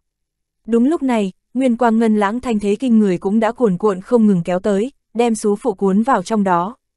Chiến giáp trên người xú phụ hiện ra thanh hồng quang mang kỳ lạ, liều mạng ngăn cản ngân tuyến đang dần dần ăn mòn, phát ra âm thanh giống như kim loại ma sát chói tai. Mặc dù xú phụ đã sử dụng bí thuật, nhưng lúc trước dựa vào chiến giáp mới miễn cưỡng ngăn cản bắc cực nguyên quang, hiện giờ hai mặt gặp ngân sắc ti tuyến tập kích cơ hồ hơn lúc trước gấp mấy lần, chỉ trong chớp mắt, mặt ngoài chiến giáp liền không chịu nổi hiện ra vô số hố nhỏ gồ ghề. Xú phụ sắc mặt cực kỳ khó coi, bỗng nhiên trong miệng một tiếng tiêm minh, hai tay xoa nhẹ hướng trên chiến giáp nhấn một cái, một tầng tầng dị quang màu xám trắng hình vòng tròn dập dờn mở ra, một tầng nham thạch hình dạng kỳ lạ ở trên chiến giáp hiện lên, không ngờ ở bên ngoài hình thành một tầng phòng hộ, lúc này mới hơi chút ngăn cản ngân sắc quang ti, làm cho sự ăn mòn của bắc cực nguyên quang đối chiến giáp dừng lại một chút. Những dị vật màu xám trắng này, đồng dạng bị từng tầng tầng ngân ti không ngừng tiêu hủy thất linh bát lạc, làm cho số phụ không tiếc chân nguyên không ngừng làm phép bổ khuyết mới được. Ai vừa nhìn đều biết việc bị hủy chỉ là vấn đề thời gian mà thôi. Nhưng dù chút thời gian, Hàn Lập sát tâm đã nổi lên căn bản cũng sẽ không cấp yêu vật này, lúc này hai tay hướng Dương Hoàn liên tiếp đánh ra mấy đạo pháp quyết, làm cho hoàn này quay tròn trên không trung rồi khẽ chuyển, bắc cực nguyên quang ở phía xa cũng lập tức hô ứng phát ra ngân mang trói mắt, thoạt nhìn giống như sóng biển liên tiếp, thanh thế rất kinh người. Số phụ nhìn thấy cảnh này, sắc mặt giống như chiến giáp kỳ lạ đều mang sắc xám trắng. Bắc cực nguyên quang ở xa xa dưới sự thôi thúc của Hàn Lập, phô thiên cái địa hướng bên này cuồn cuộn bay đến, nhất thời chiến giáp trên người xú phụ cũng không cách nào chống đỡ tiếp, dị vật phô trương hiện lên căn bản không còn kịp tái hiện lại, liền bị ngân sắc quang ti phá hủy không còn một mảnh. Phía dưới chiến giáp bắt đầu tắc tắc hiện ra vết nứt, mắt thấy phá hủy chỉ là chút thời gian nữa thôi. Sú phụ rốt cục lộ ra vẻ e ngại, còn người quay tròn nhanh không ngừng, trong mắt tất cả đều là vẻ kinh hoàng. Đạo hữu dừng tay, thỉnh tha ta một mạng, ta nguyện ý phụng ngươi làm chủ, làm linh thú của ngươi. Làm chiến giáp phá hủy một góc phanh ra, hơn 10 đạo chỉ bạc xuyên thủng mà qua, đem một cánh tay xú phụ hóa thành huyết phụ, xú phụ tuyệt vọng cũng không cố hơn nữa mặt khác kêu to lên. Đối với huyền nham quy yêu không biết sống nhiều ít vạn năm mà nói, nó sao thật sự cam tâm táng mệnh nơi đây. Làm linh thú của ta, vừa nghe lời này, hàn lập thần sắc nhất động, liền dụng dương hoàn khống chế bắc cực nguyên quang thế công tạm thời chậm lại. Ngươi cho ta là hài đồng 3 tuổi, cấm thần thuật đối với tu vi loại yêu vật như ngươi căn bản không có nhiều tác dụng, sao khiến cho ta đối với ngươi yên tâm, làm linh thú ta thế nào? Hàn Lập nhìn số phụ bị vô số ngân ti vây lấy, bất động thanh sắc nói. Yêu vật này nếu không thể lập tức nói ra nguyên cớ, hắn lập tức sẽ thôi thúc bắc cực nguyên quang đem đối phương diệt sát, tuyệt không có chút nào do dự. Hắn cũng sẽ không cho đối phương kéo dài thời gian, căn bản không cần ta nói tỉ mỉ gì, đạo hữu có hay không tại trong điện côn ngô có được một khối mộc bài, chỉ cần đem ra nhìn kỹ sẽ biết. Đó chính là ta trước kia đại đạo chưa thành, đã bị hạ cấm chế bổn mạng nguyên bài. Sú phụ cũng nhìn ra giờ phút này hàn lập sát tâm chưa hết, lúc này lộ vẻ sâu thảm nói, không dám có chút chần chờ. chương 1022, hàng phục, mệnh nguyên bài, hàn lập lộ ra vẻ ngoài ý muốn, lúc có được chiếc mộc bài màu huyết hồng nọ, hắn cũng không có thời gian để ý nhìn kỹ, nhưng hình như bộ dáng quả thật khác lạ so với bảo vật bình thường. Bây giờ nghe sú phụ vừa nói như thế, cũng có thêm một chút tin tưởng. Lúc này cũng không nói lời nào hướng túi chữ vật giữa eo lưng vỗ nhẹ, nhất thời một đạo huyết mang từ trong bay ra, bay quanh một vòng sau đó rơi vào trong tay. Đúng là khối một bài nọ, Lam mang trong mắt Hàn Lập chấp động, lúc này mới chính thức nhìn rõ ràng hình dáng vật ấy. Cỡ lòng bàn tay, bao phủ bên ngoài là một tầng huyết quang, chính diện hiện lên một tiểu đoàn xương mù màu xám trắng, ở trong huyết quang có hơi chút nhu động, lại dường như là một loài vật bé nhỏ. Hàn lập thần thức bay nhanh hướng bên trên đảo qua, mắt khẽ mở, nét mặt lộ ra một tia vui mừng. Một tay kết quyết, dương tay đánh ra một đạo thanh quang. Nhất thời trên một bài ánh sáng chợt lóe, tiểu đoàn xương mù màu xám trắng nọ tiêu tán ngay lập tức, ở trong đó lại hiện lên một cái linh quy đồ án hắc bạch lưỡng sắc. Huyền Nham Quy, ngươi bản thể là loại linh thú này, không trách được phòng ngự kinh người như thế, tại trong bắc cực nguyên quang cũng có thể duy trì lâu như vậy. Hàn Lập nhìn dán vào một bài hồi lâu, đồng tử lam mang chợt tắt, ngẩng đầu nhàn nhạt nói. Nếu đã biết như vậy thiếp thân cũng không có hư ngôn lừa gạt, bổn mạng nguyên bài này là do côn ngô tam lão tự mình luyện chế năm đó. Hiện tại nhân giới cũng không có người lại có thể luyện chế đỉnh giai mệnh bài như thế. Chỉ cần mệnh bài này nơi tay, sanh tử của ta liền ở trong tay chủ nhân lệnh bài. Số phụ ở trong bắc cực nguyên quang vẫn không nhúc nhích giải thích, sợ chẳng may khiến Hàn Lập hiểu lầm. Nói thì không sai, nhưng bổn mạng nguyên bài này cũng phải nhìn xem rơi vào trong tay người nào. Nếu là tu sĩ dưới Nguyên Anh kỳ muốn luyện hóa bài này khiến bằng hữu cúi đầu nghe lệnh sợ tu vi không đủ. Bị cấm chế trên lệnh bài cắn trả thì sao? Hàn Lập bình tĩnh nói, như thế nào, đạo hữu đã có được mệnh bài này vẫn còn không yên lòng đối thiếp thân sao? Phụ nhân lộ ra vẻ mặt càng khó coi, đương nhiên không yên lòng, ngay cả ta luyện hóa mệnh bài này có thể tùy thời chế trụ ngươi. Nhưng tu vi ngươi quá cao so với ta, lúc ngươi liều mạng cũng có thể thoát khỏi khống chế, quay giáo phản kích. Hàn mỗ cũng không có hứng thú lo lắng đề phòng, sao ta phải lưu ngươi? Hàn lập sắc mặt bỗng nhiên trầm xuống, đồng thời trên đầu Dương Hoàn một hồi vù vù phát ra. Ngân ti trong phút chốc lại bắt đầu dục dịch nổi lên đem số phụ bao quanh vây lại. Đạo hữu nếu vẫn chưa yên tâm, ta nguyện ý đem non nửa nguyên thần vào trên bổn mạng bài. Nếu là thật có lòng bất thiện, đạo hữu lập tức sẽ phát giác. Số phụ trong lòng cả kinh, miệng không lựa lời vội vàng lớn tiếng nói. a phân liệt nguyên thần, phương pháp này trái lại có thể. Ngươi đã nói như vậy, vậy đem nguyên thần phân liệt khai đi. Hàn Lập bất động thanh sắc ánh mắt chấp động nói. Nghe được Hàn Lập vừa nói như thế, số phụ cũng nổi lên do dự, nhưng đang xem xét lại thấy ánh mắt Hàn Lập lại lần nữa âm lệ xuống. Yêu phụ này dùng mình, không hề tiếp tục trì hoãn đơn thủ vòng sau não vỗ nhẹ. Phốc một tiếng trên thiên linh cái hắc bạch quang mang kỳ lạ chợt lóe, một cái nguyên anh tại đỉnh đầu xú phụ hiện lên. Nguyên anh này há mồm phun ra một đoàn lục quang lớn cõ nắm tay. Trên mặt xú phụ hiện lên vẻ thống khổ, lục quang một hồi run lên, phân liệt hóa thành hai luồng nhỏ hơn. Trong đó có một đoàn lượn vòng, lập tức quay về trong miệng mũi Nguyên Anh, một đoàn khác thì sau khi chậm một chút, chậm rãi hướng Hàn Lập bay tới. Hàn Lập thấy vậy không khách khí đem bổn mạng bài loáng lên hướng lục quang bay tới. Một chùm huyết quang phun ra, nháy mắt liền đem lục quang kéo vào trong mộc bài.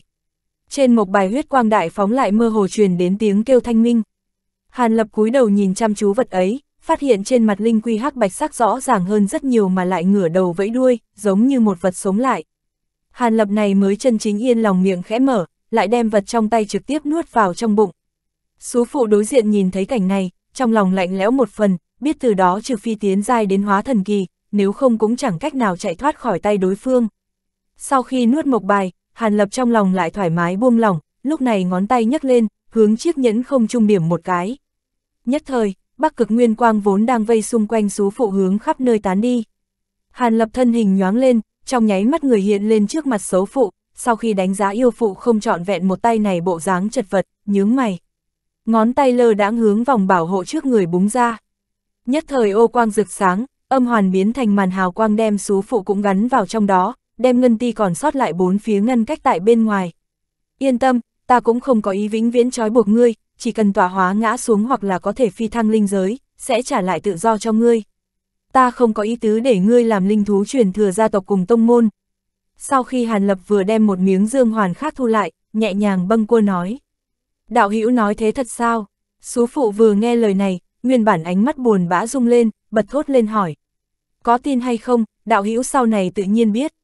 Nhưng chúng ta nhân loại thọ nguyên so với thiên địa linh thú các ngươi mà nói tương đối ngắn, căn bản không đáng để nhắc tới, chỉ cần ngươi ở trong lúc này toàn tâm suốt lực vì ta, ta tự sẽ không bạc đãi ngươi.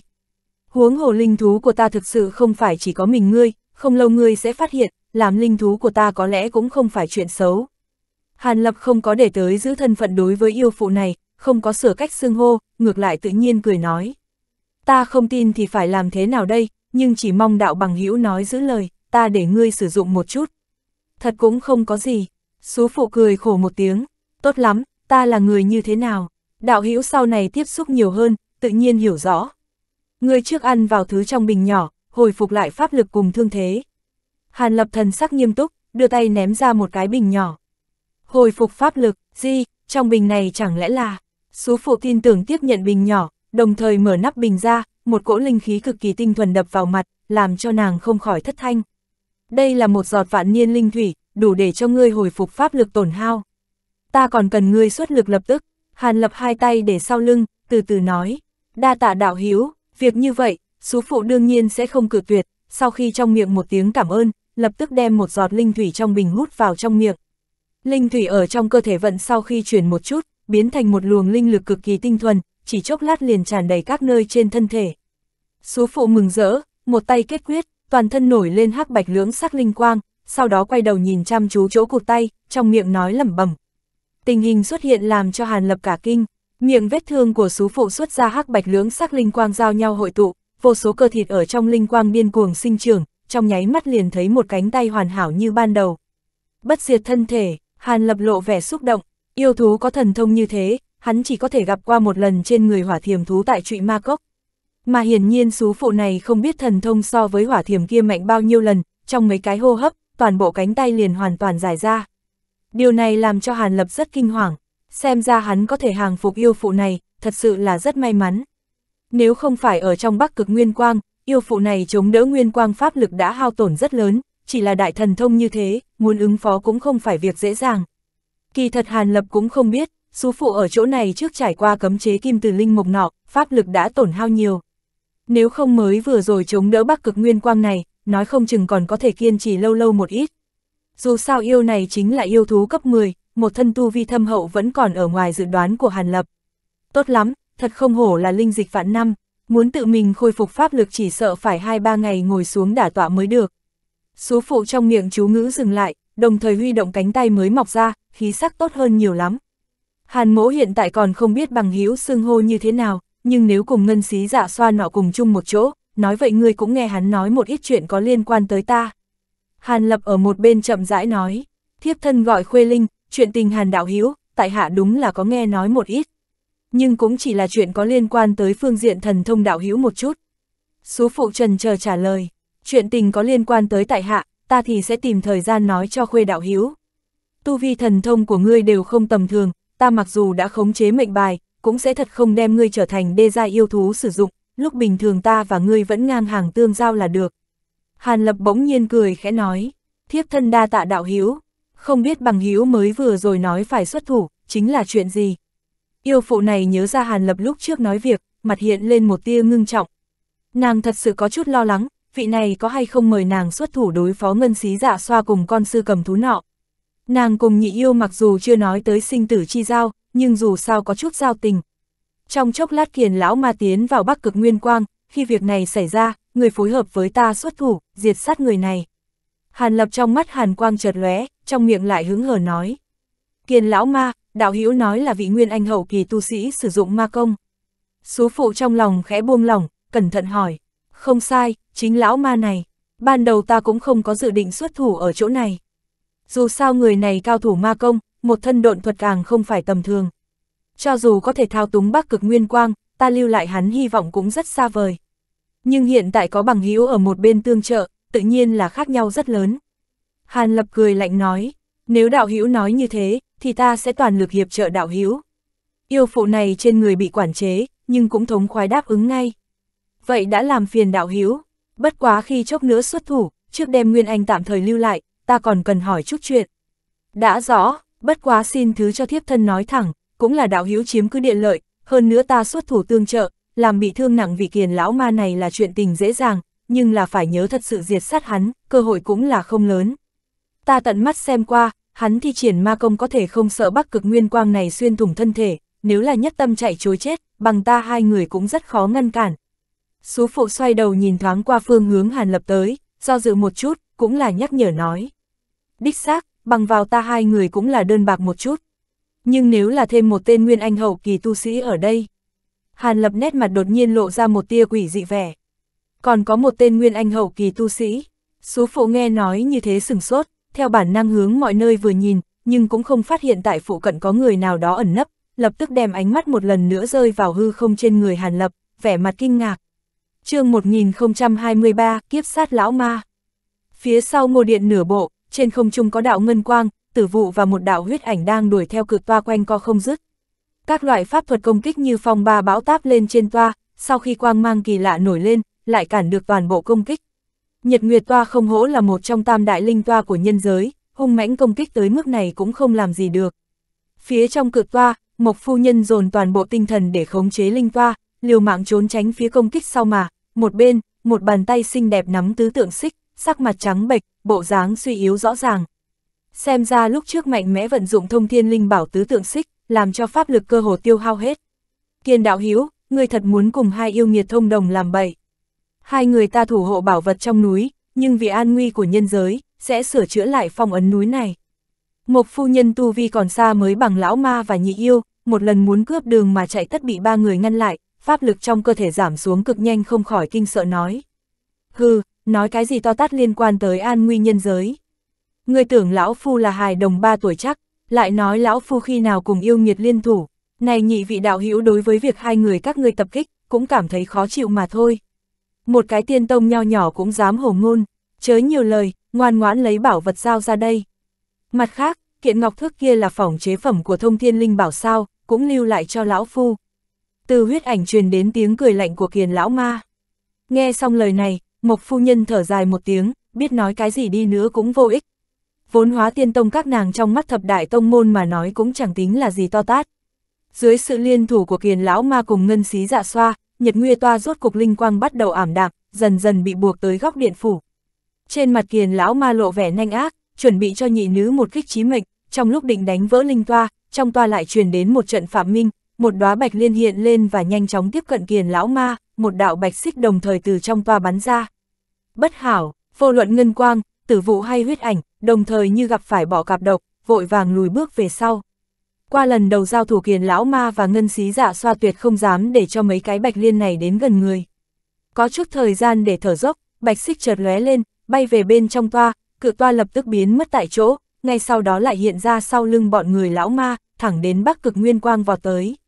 Lúc này bạch liên vô thanh vô tức đều tán loạn mở ra, hóa ra chỉ là ảo ảnh có vẻ ghê gớm mà thôi. Kiên lão ma cùng ngân xí giả xoa thấy vậy giận dữ, trong lòng biết bị lừa lập tức vận độn quang đuổi theo. Nhưng đã muộn một bước, kim ngân cự toa chui vào bắc cực nguyên quang, vô số ngân ti đều bắn nhanh hướng vào trong bảo vật này, sau khi tiếp xúc của cự toa, liền bị một tầng ngân mạc bắn ngược trở ra. Một phu nhân hai tay bấm pháp quyết, không ngừng thúc giục một khối lệnh bài, vẻ mặt hiện lên vẻ ngưng trọng. Khối lệnh bài ngân quang lóng lánh, phun ra một cổ hà quang, ngân mạc bên ngoài cự toa này đúng là thần thông của khối lệnh bài này. Một bên, nữ tử tú lệ bởi vì hao tổn pháp lực tế ra tứ tượng xích, tuy rằng chỉ có phô trương thanh thế nhưng lúc này cũng lung lay sắp đổ, hoàn toàn mất khả năng động thủ. Một phu nhân bên trong bạch mang, quan sát sư muội của mình, trên mặt hiện lên vẻ lo lắng. Sư tỷ không cần lo lắng, ta chỉ cần về tĩnh dưỡng mấy năm, liền có thể hồi phục. Thanh lệ nữ tử cười khuyên, hy vọng vậy, lấy tu vi hiện tại của ngươi sử dụng tứ tượng xích, thật sự có chút là làm khó dễ ngươi. Một phu nhân ngần ngại nói, nhưng nếu không sử dụng bảo vật này, hai người ta làm sao có thể ngăn đại tu sĩ như kiền lão ma lấy đi hóa long tỷ chứ? Nhưng thực ra họ hàn kia rất gian xảo, sau khi lấy bảo vật lập tức rút lui. Nếu không cũng có thể thay ta chia sẻ chút áp lực. Thanh tú nữ tư oán hận nói, một phu nhân nghe xong cũng chỉ cười khổ mà thôi, trong đầu đồng thời hiện lên hình dáng hàn lập cùng chiếc quạt cực kỳ đáng sợ kia. Phía sau cực toa, huyết ảnh, ngân quang, tử vụ theo đuổi không bỏ đồng thời cũng vào trong bắc cực nguyên quang. Một phu nhân hiện tại cũng đang suy yếu, nếu Nhật Nguyệt Toa không phải thật sự thần diệu dị thường, cũng sợ sớm đã bị bắt rồi. Cho nên ba vị này đều không có ý nghĩ bỏ cuộc. Chẳng qua khi tiến vào trong bắc cực nguyên quang, bọn người kiền lão ma lập tức phát hiện không ổn. Phía trước toa trọng có thể mượn khối bài trực tiếp khống chế ảo trận cấm chế trong bắc cực nguyên quang, tuy rằng ảo trận dạng này đối với bạn họ không tính là cái gì, nhưng cũng ngăn cản được chút thời gian, để cho linh toa có cơ hội, chấp động mấy cái liền biến mất trong ngân ti dày đặc, không thấy bóng dáng nữa. Một lần này kiền lão ma nổi trận lôi đình, mà ngân xí quỷ dạ xoa và sư cầm thú nhìn từ phía sau, dụng ánh mắt dò xét không tốt lên người kiền lão ma. Lão ma nhất thời cảm ứng kinh hãi, lạnh lùng đảo qua, không khách khí nói.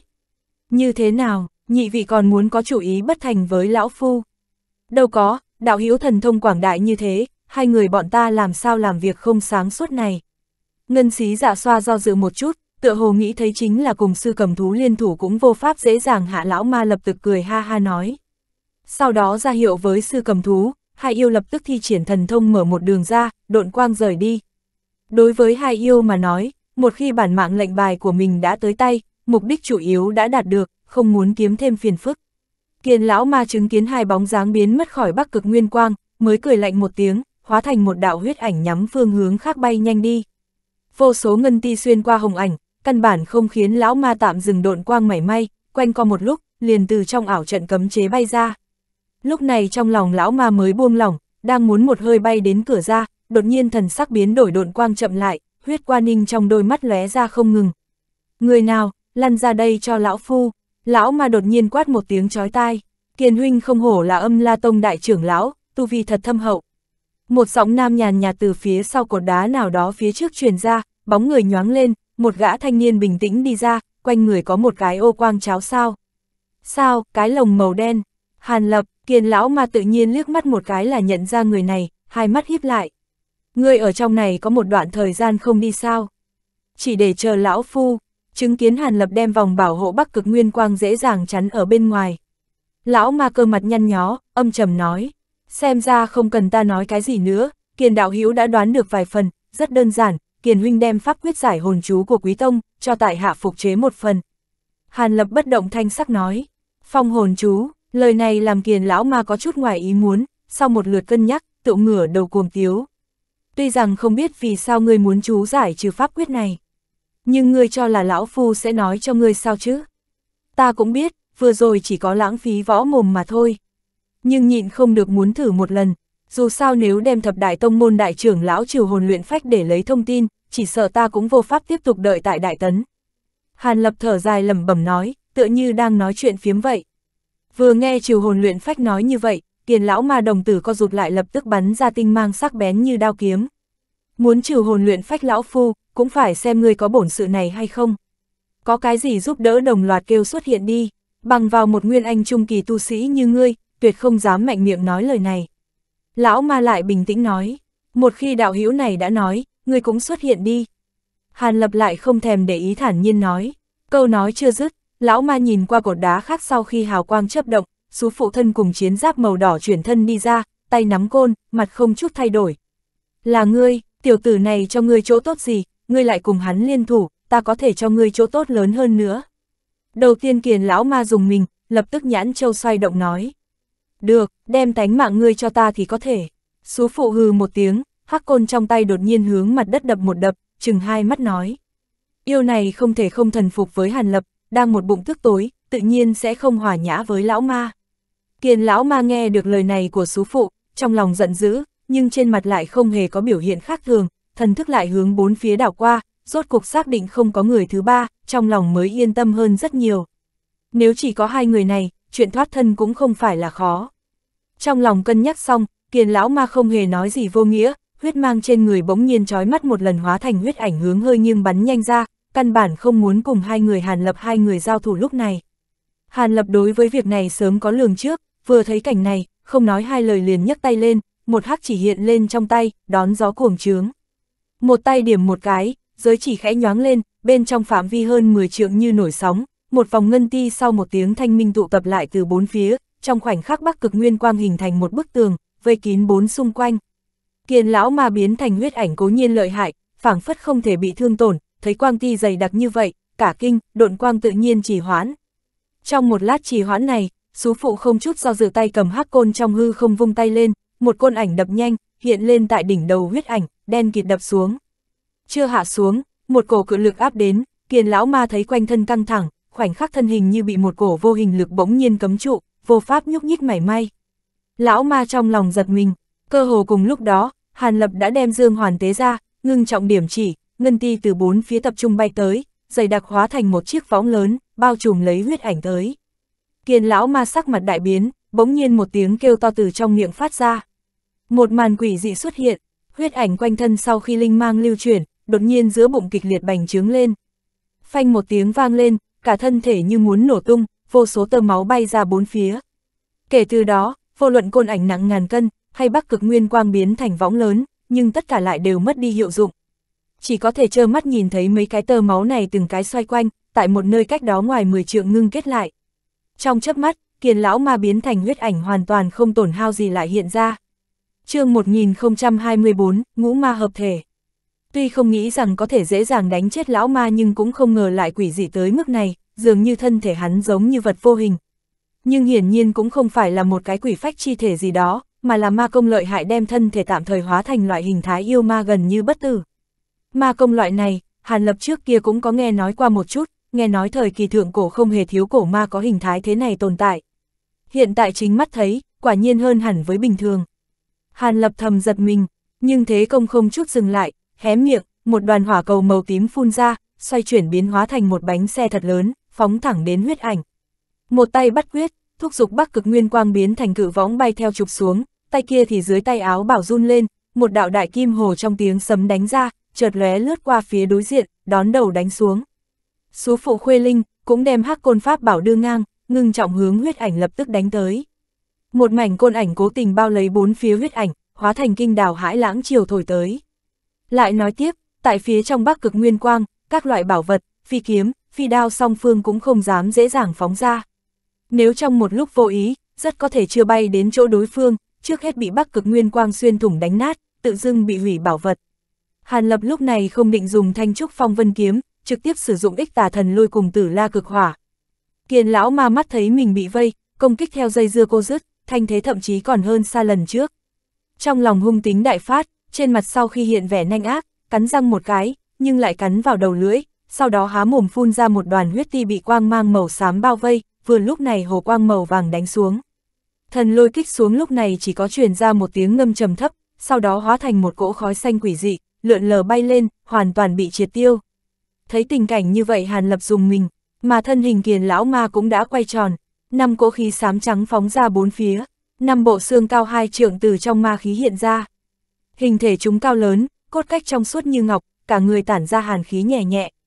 Lão ma không ngờ lại triệu hoán bản thể của ngũ tử đồng tâm ma. Năm bộ xương vừa hiện ra liền há mồm phun ra một cỗ lân hỏa bích diễm. Bích diễm này thoạt nhìn cũng không có gì đặc biệt, dường như chỉ là lân hỏa bình thường, nhưng không ngờ đoàn hỏa cầu do tử la thiên hỏa biến thành sau khi bị hai cỗ đón đầu lại ở giữa không chung rằng có bất phân thắng bại. Còn ba cỗ còn lại bay đi, hóa thành màn lửa đấu với cự võng do bắc cực nguyên quang biến thành, ngăn không cho nó hạ xuống. Côn ảnh bốn phương tám hướng mang theo âm thanh như than như khóc, như sóng chiều đánh tới. Côn ảnh chưa tới nhưng một cỗ cự lực vô hình đã từ bốn phía ép tới, ý đồ khóa trụ lão ma. Lão ma lúc này vẫn chưa phân giải thân hình, dù sao cái loại thần thông như vậy tuy rằng lợi hại dị thường nhưng mỗi lần phân liệt và trọng tổ thân hình, hẳn phải hao tốn pháp lực không ít, không phải bất đắc dĩ hắn tất nhiên sẽ không dùng biện pháp này. Huống hồ hắn một khi đã gọi ra hóa thân ngũ tử đồng tâm ma, tự nhiên là có cách ứng phó. Thần niệm hắn vừa động, mấy bộ xương liền nhoáng lên, hiện ra ở xung quanh, đồng thời từ phía sau lưng lão ma xuất hiện một tầng quang mạc màu xám trắng, trong khoảnh khắc bao trùm lấy lão ma và chúng. Oanh long long tiếng nổ ầm vang không ngừng, hắc ảnh va chạm với quang mạc không ngừng, mỗi đòn đánh đều như xét đánh, khiến người ta nghe thấy mà mất hết hồn vía. Hàn Lập thấy uy lực của côn ảnh như vậy cũng không khỏi kinh hãi. Vị yêu thú thập cấp huyền nham quy này, quả thực thần thông không nhỏ. Xem ra lúc trước khi động thủ với mình là do pháp lực không đủ, chỉ sợ là không thi triển nổi một nửa thần thông. Nếu không lúc ấy cho dù có dùng tất cả bắc cực nguyên quang ở đây cũng không thể dễ dàng hàng phục đối phương như vậy. Nhưng vòng bảo hộ do ngũ tử đồng tâm ma phóng thích ra vô cùng cứng cỏi, thực sự nằm ngoài ý liệu của Hàn Lập. Khi tiếng nổ dừng lại, côn ảnh cuối cùng cũng biến mất, tầng quang cháo màu trắng xám do năm bộ xương chống đỡ không ngờ vẫn an nhiên tồn tại. Thế công kinh người như vậy không ngờ lại không thể đánh nát được một tầng phòng hộ mỏng manh. Khuê Linh thấy vậy sắc mặt liền trầm xuống, ánh mắt âm trầm, sau khi liếc qua hộ cháo liền hừ lạnh một tiếng, hé miệng ra, một đoàn tinh khí hai màu hắc bạch đột nhiên phun vào thanh ô côn đang cầm trên tay. Cây côn liền phát ra một tiếng ngân dài, bên trong linh quang đại phóng. Ngoại hình của cây côn chợt biến đổi, hóa thành một thanh lợi phủ màu đen. Cổ tay run lên, Khuê Linh đã đem phủ này ném lên khoảng không phía trên đỉnh đầu, ngưng trong nhìn chằm chằm vào nó, trong miệng truyền ra tiếng chú ngữ. Trên bề mặt hắc phủ đột nhiên phóng xuất ra một tầng ngân mang, quang hoa chói mắt, hình thể của bảo vật cũng cuồng biến trong khi màu sắc cũng biến đổi theo. Trong chớp mắt đã hóa thành một thanh cự phủ màu bạc cao đến 10 trượng có dư. Phủ này không chỉ bề mặt to như cánh cửa có ánh sáng trắng như tuyết bao phủ, mà ngay cả chuôi của nó cũng to cỡ bắp đùi của một người trưởng thành. Sau khi biến lớn, cự nhận dương được giả trừ loại phong ấn nào đó, một cỗ sát khí kinh người phóng thẳng lên trời. Cho dù là Hàn Lập đứng ở cách xa chỗ đó cũng có thể cảm ứng được chuôi cự phủ này đính thị ẩn chứa sát ý huyết khí điên cuồng. Nói đúng ra, đây chính là một thanh hung phủ. Lục này, khuôn mặt xấu xí của Khuê Linh hiện lên vẻ hung ác, hai tay bắt pháp quyết, hình thể đồng dạng cũng tăng vọt lên.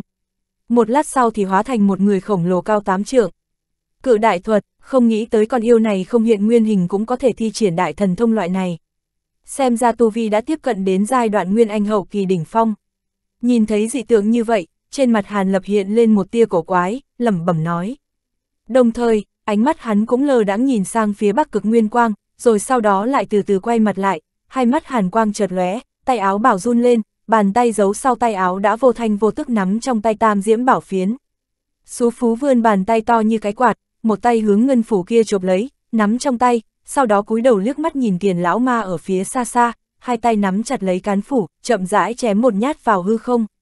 Một đạo ngân sắc nguyệt phủ mang hóa thành nguyệt nha dài mấy trượng, từ trên phủ nhận phát ra tiêm minh phóng tới. Nơi đi qua đột nhiên hiện ra một đạo bạch ngân, phảng phất như đem vùng không gian phụ cận cắt nát. Lão ma đang tránh ở sau vòng bảo hộ thấy cảnh này sắc mặt cũng đại biến. Hắn chính là cho dù đối với ngũ tử đồng tâm ma rất tự tin cũng tuyệt đối không dám đón đỡ công kích kinh nhân như thế. Mắt thấy không còn kịp né tránh, lão ma liền khoát mạnh tay, một thanh đoàn nhận trắng như tuyết liền hiện ra nơi lòng bàn tay, nắm chặt trong tay. Hàn quang chợt lóe, giơ tay chém xuống, trên cánh tay còn lại có một ngón tay bị cắt đứt, đoàn nhận lập tức chém xuống đoạn chỉ này. Nhưng không chờ đoạn chỉ này rơi xuống đất, lão ma liền phun một đoàn máu huyết lên đoạn chỉ đó, bao vào bên trong. Trong nháy mắt, huyết quang lưu động, ngón tay cùng máu huyết sau khi dung hợp lại hóa thành một thanh huyết đao dài vài thước, hẹp dài, sắc bén, tạo hình cực kỳ cổ quái.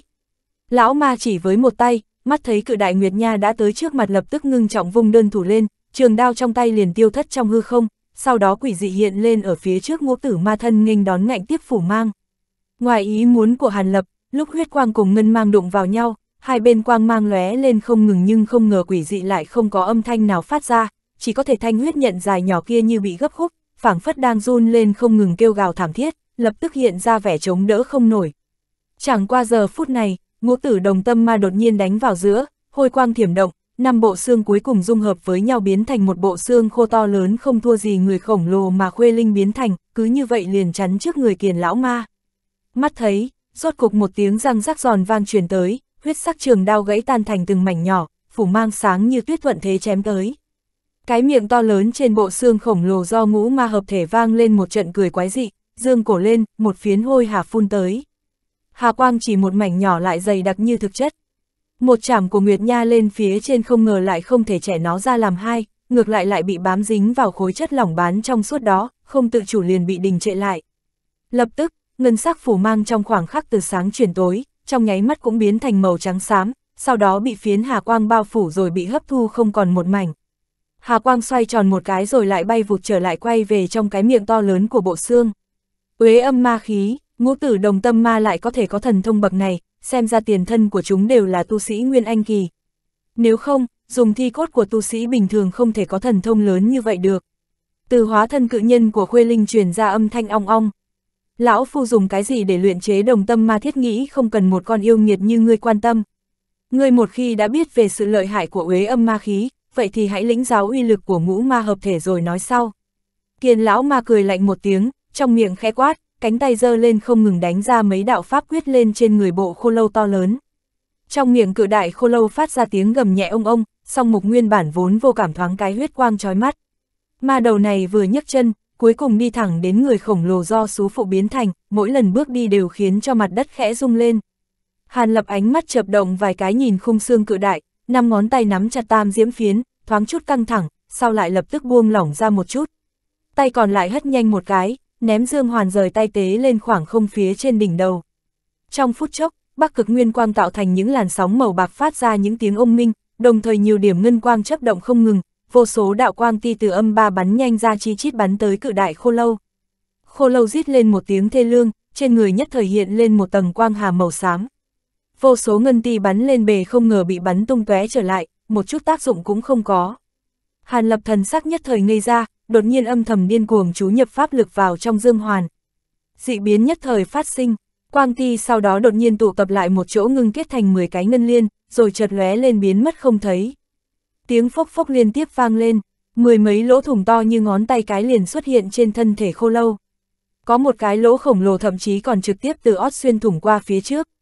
Uế âm ma khí kia không ngờ lại không thể ngăn cản được công kích này thao túng Dương Hoàn đem Bắc Cực Nguyên Quang ngưng tụ lại một chỗ uy lực quả nhiên đại tăng.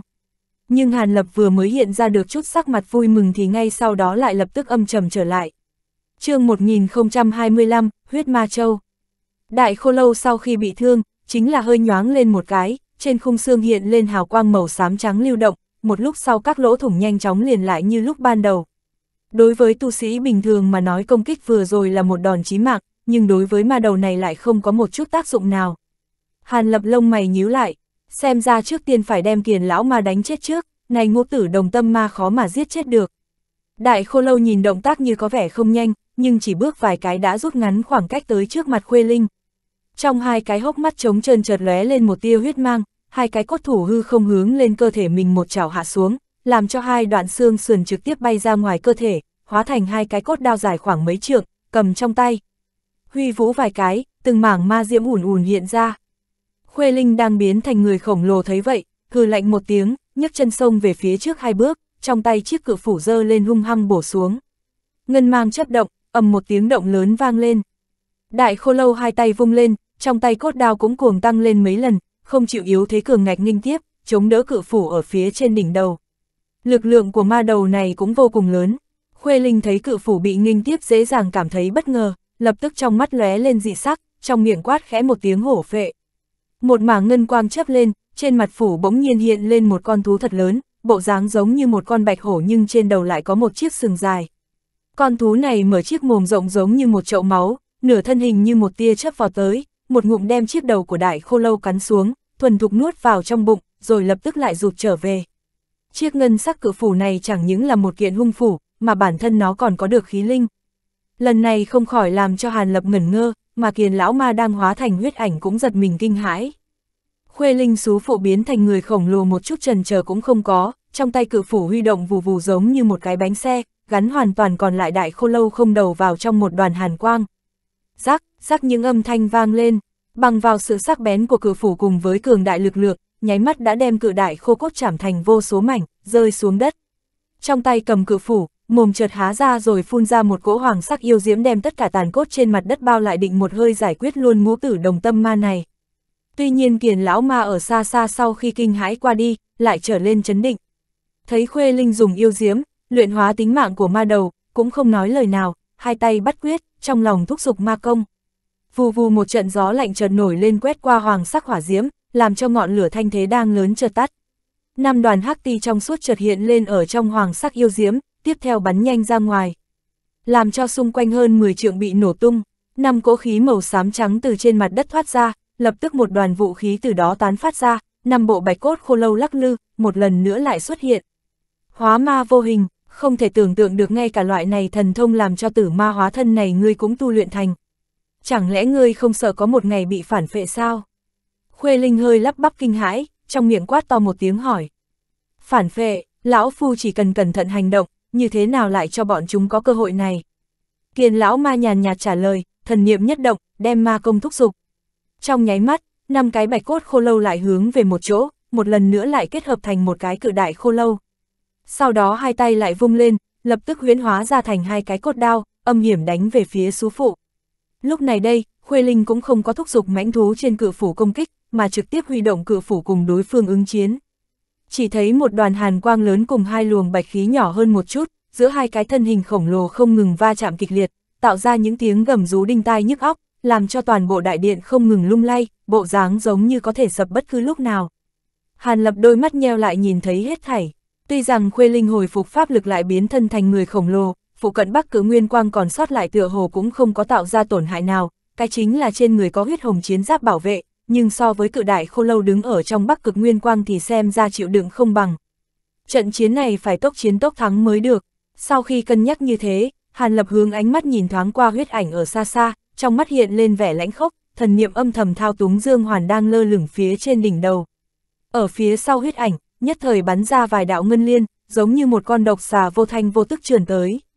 Kiền lão ma cũng đang cân nhắc tìm đối sách ứng phó sự liên thủ của Hàn Lập và Khuê Linh, không biết là do tự tin về tấm thân bất tử của mình, hay là do bắc cực nguyên quang lợi hại làm cho thần thức bị áp chế.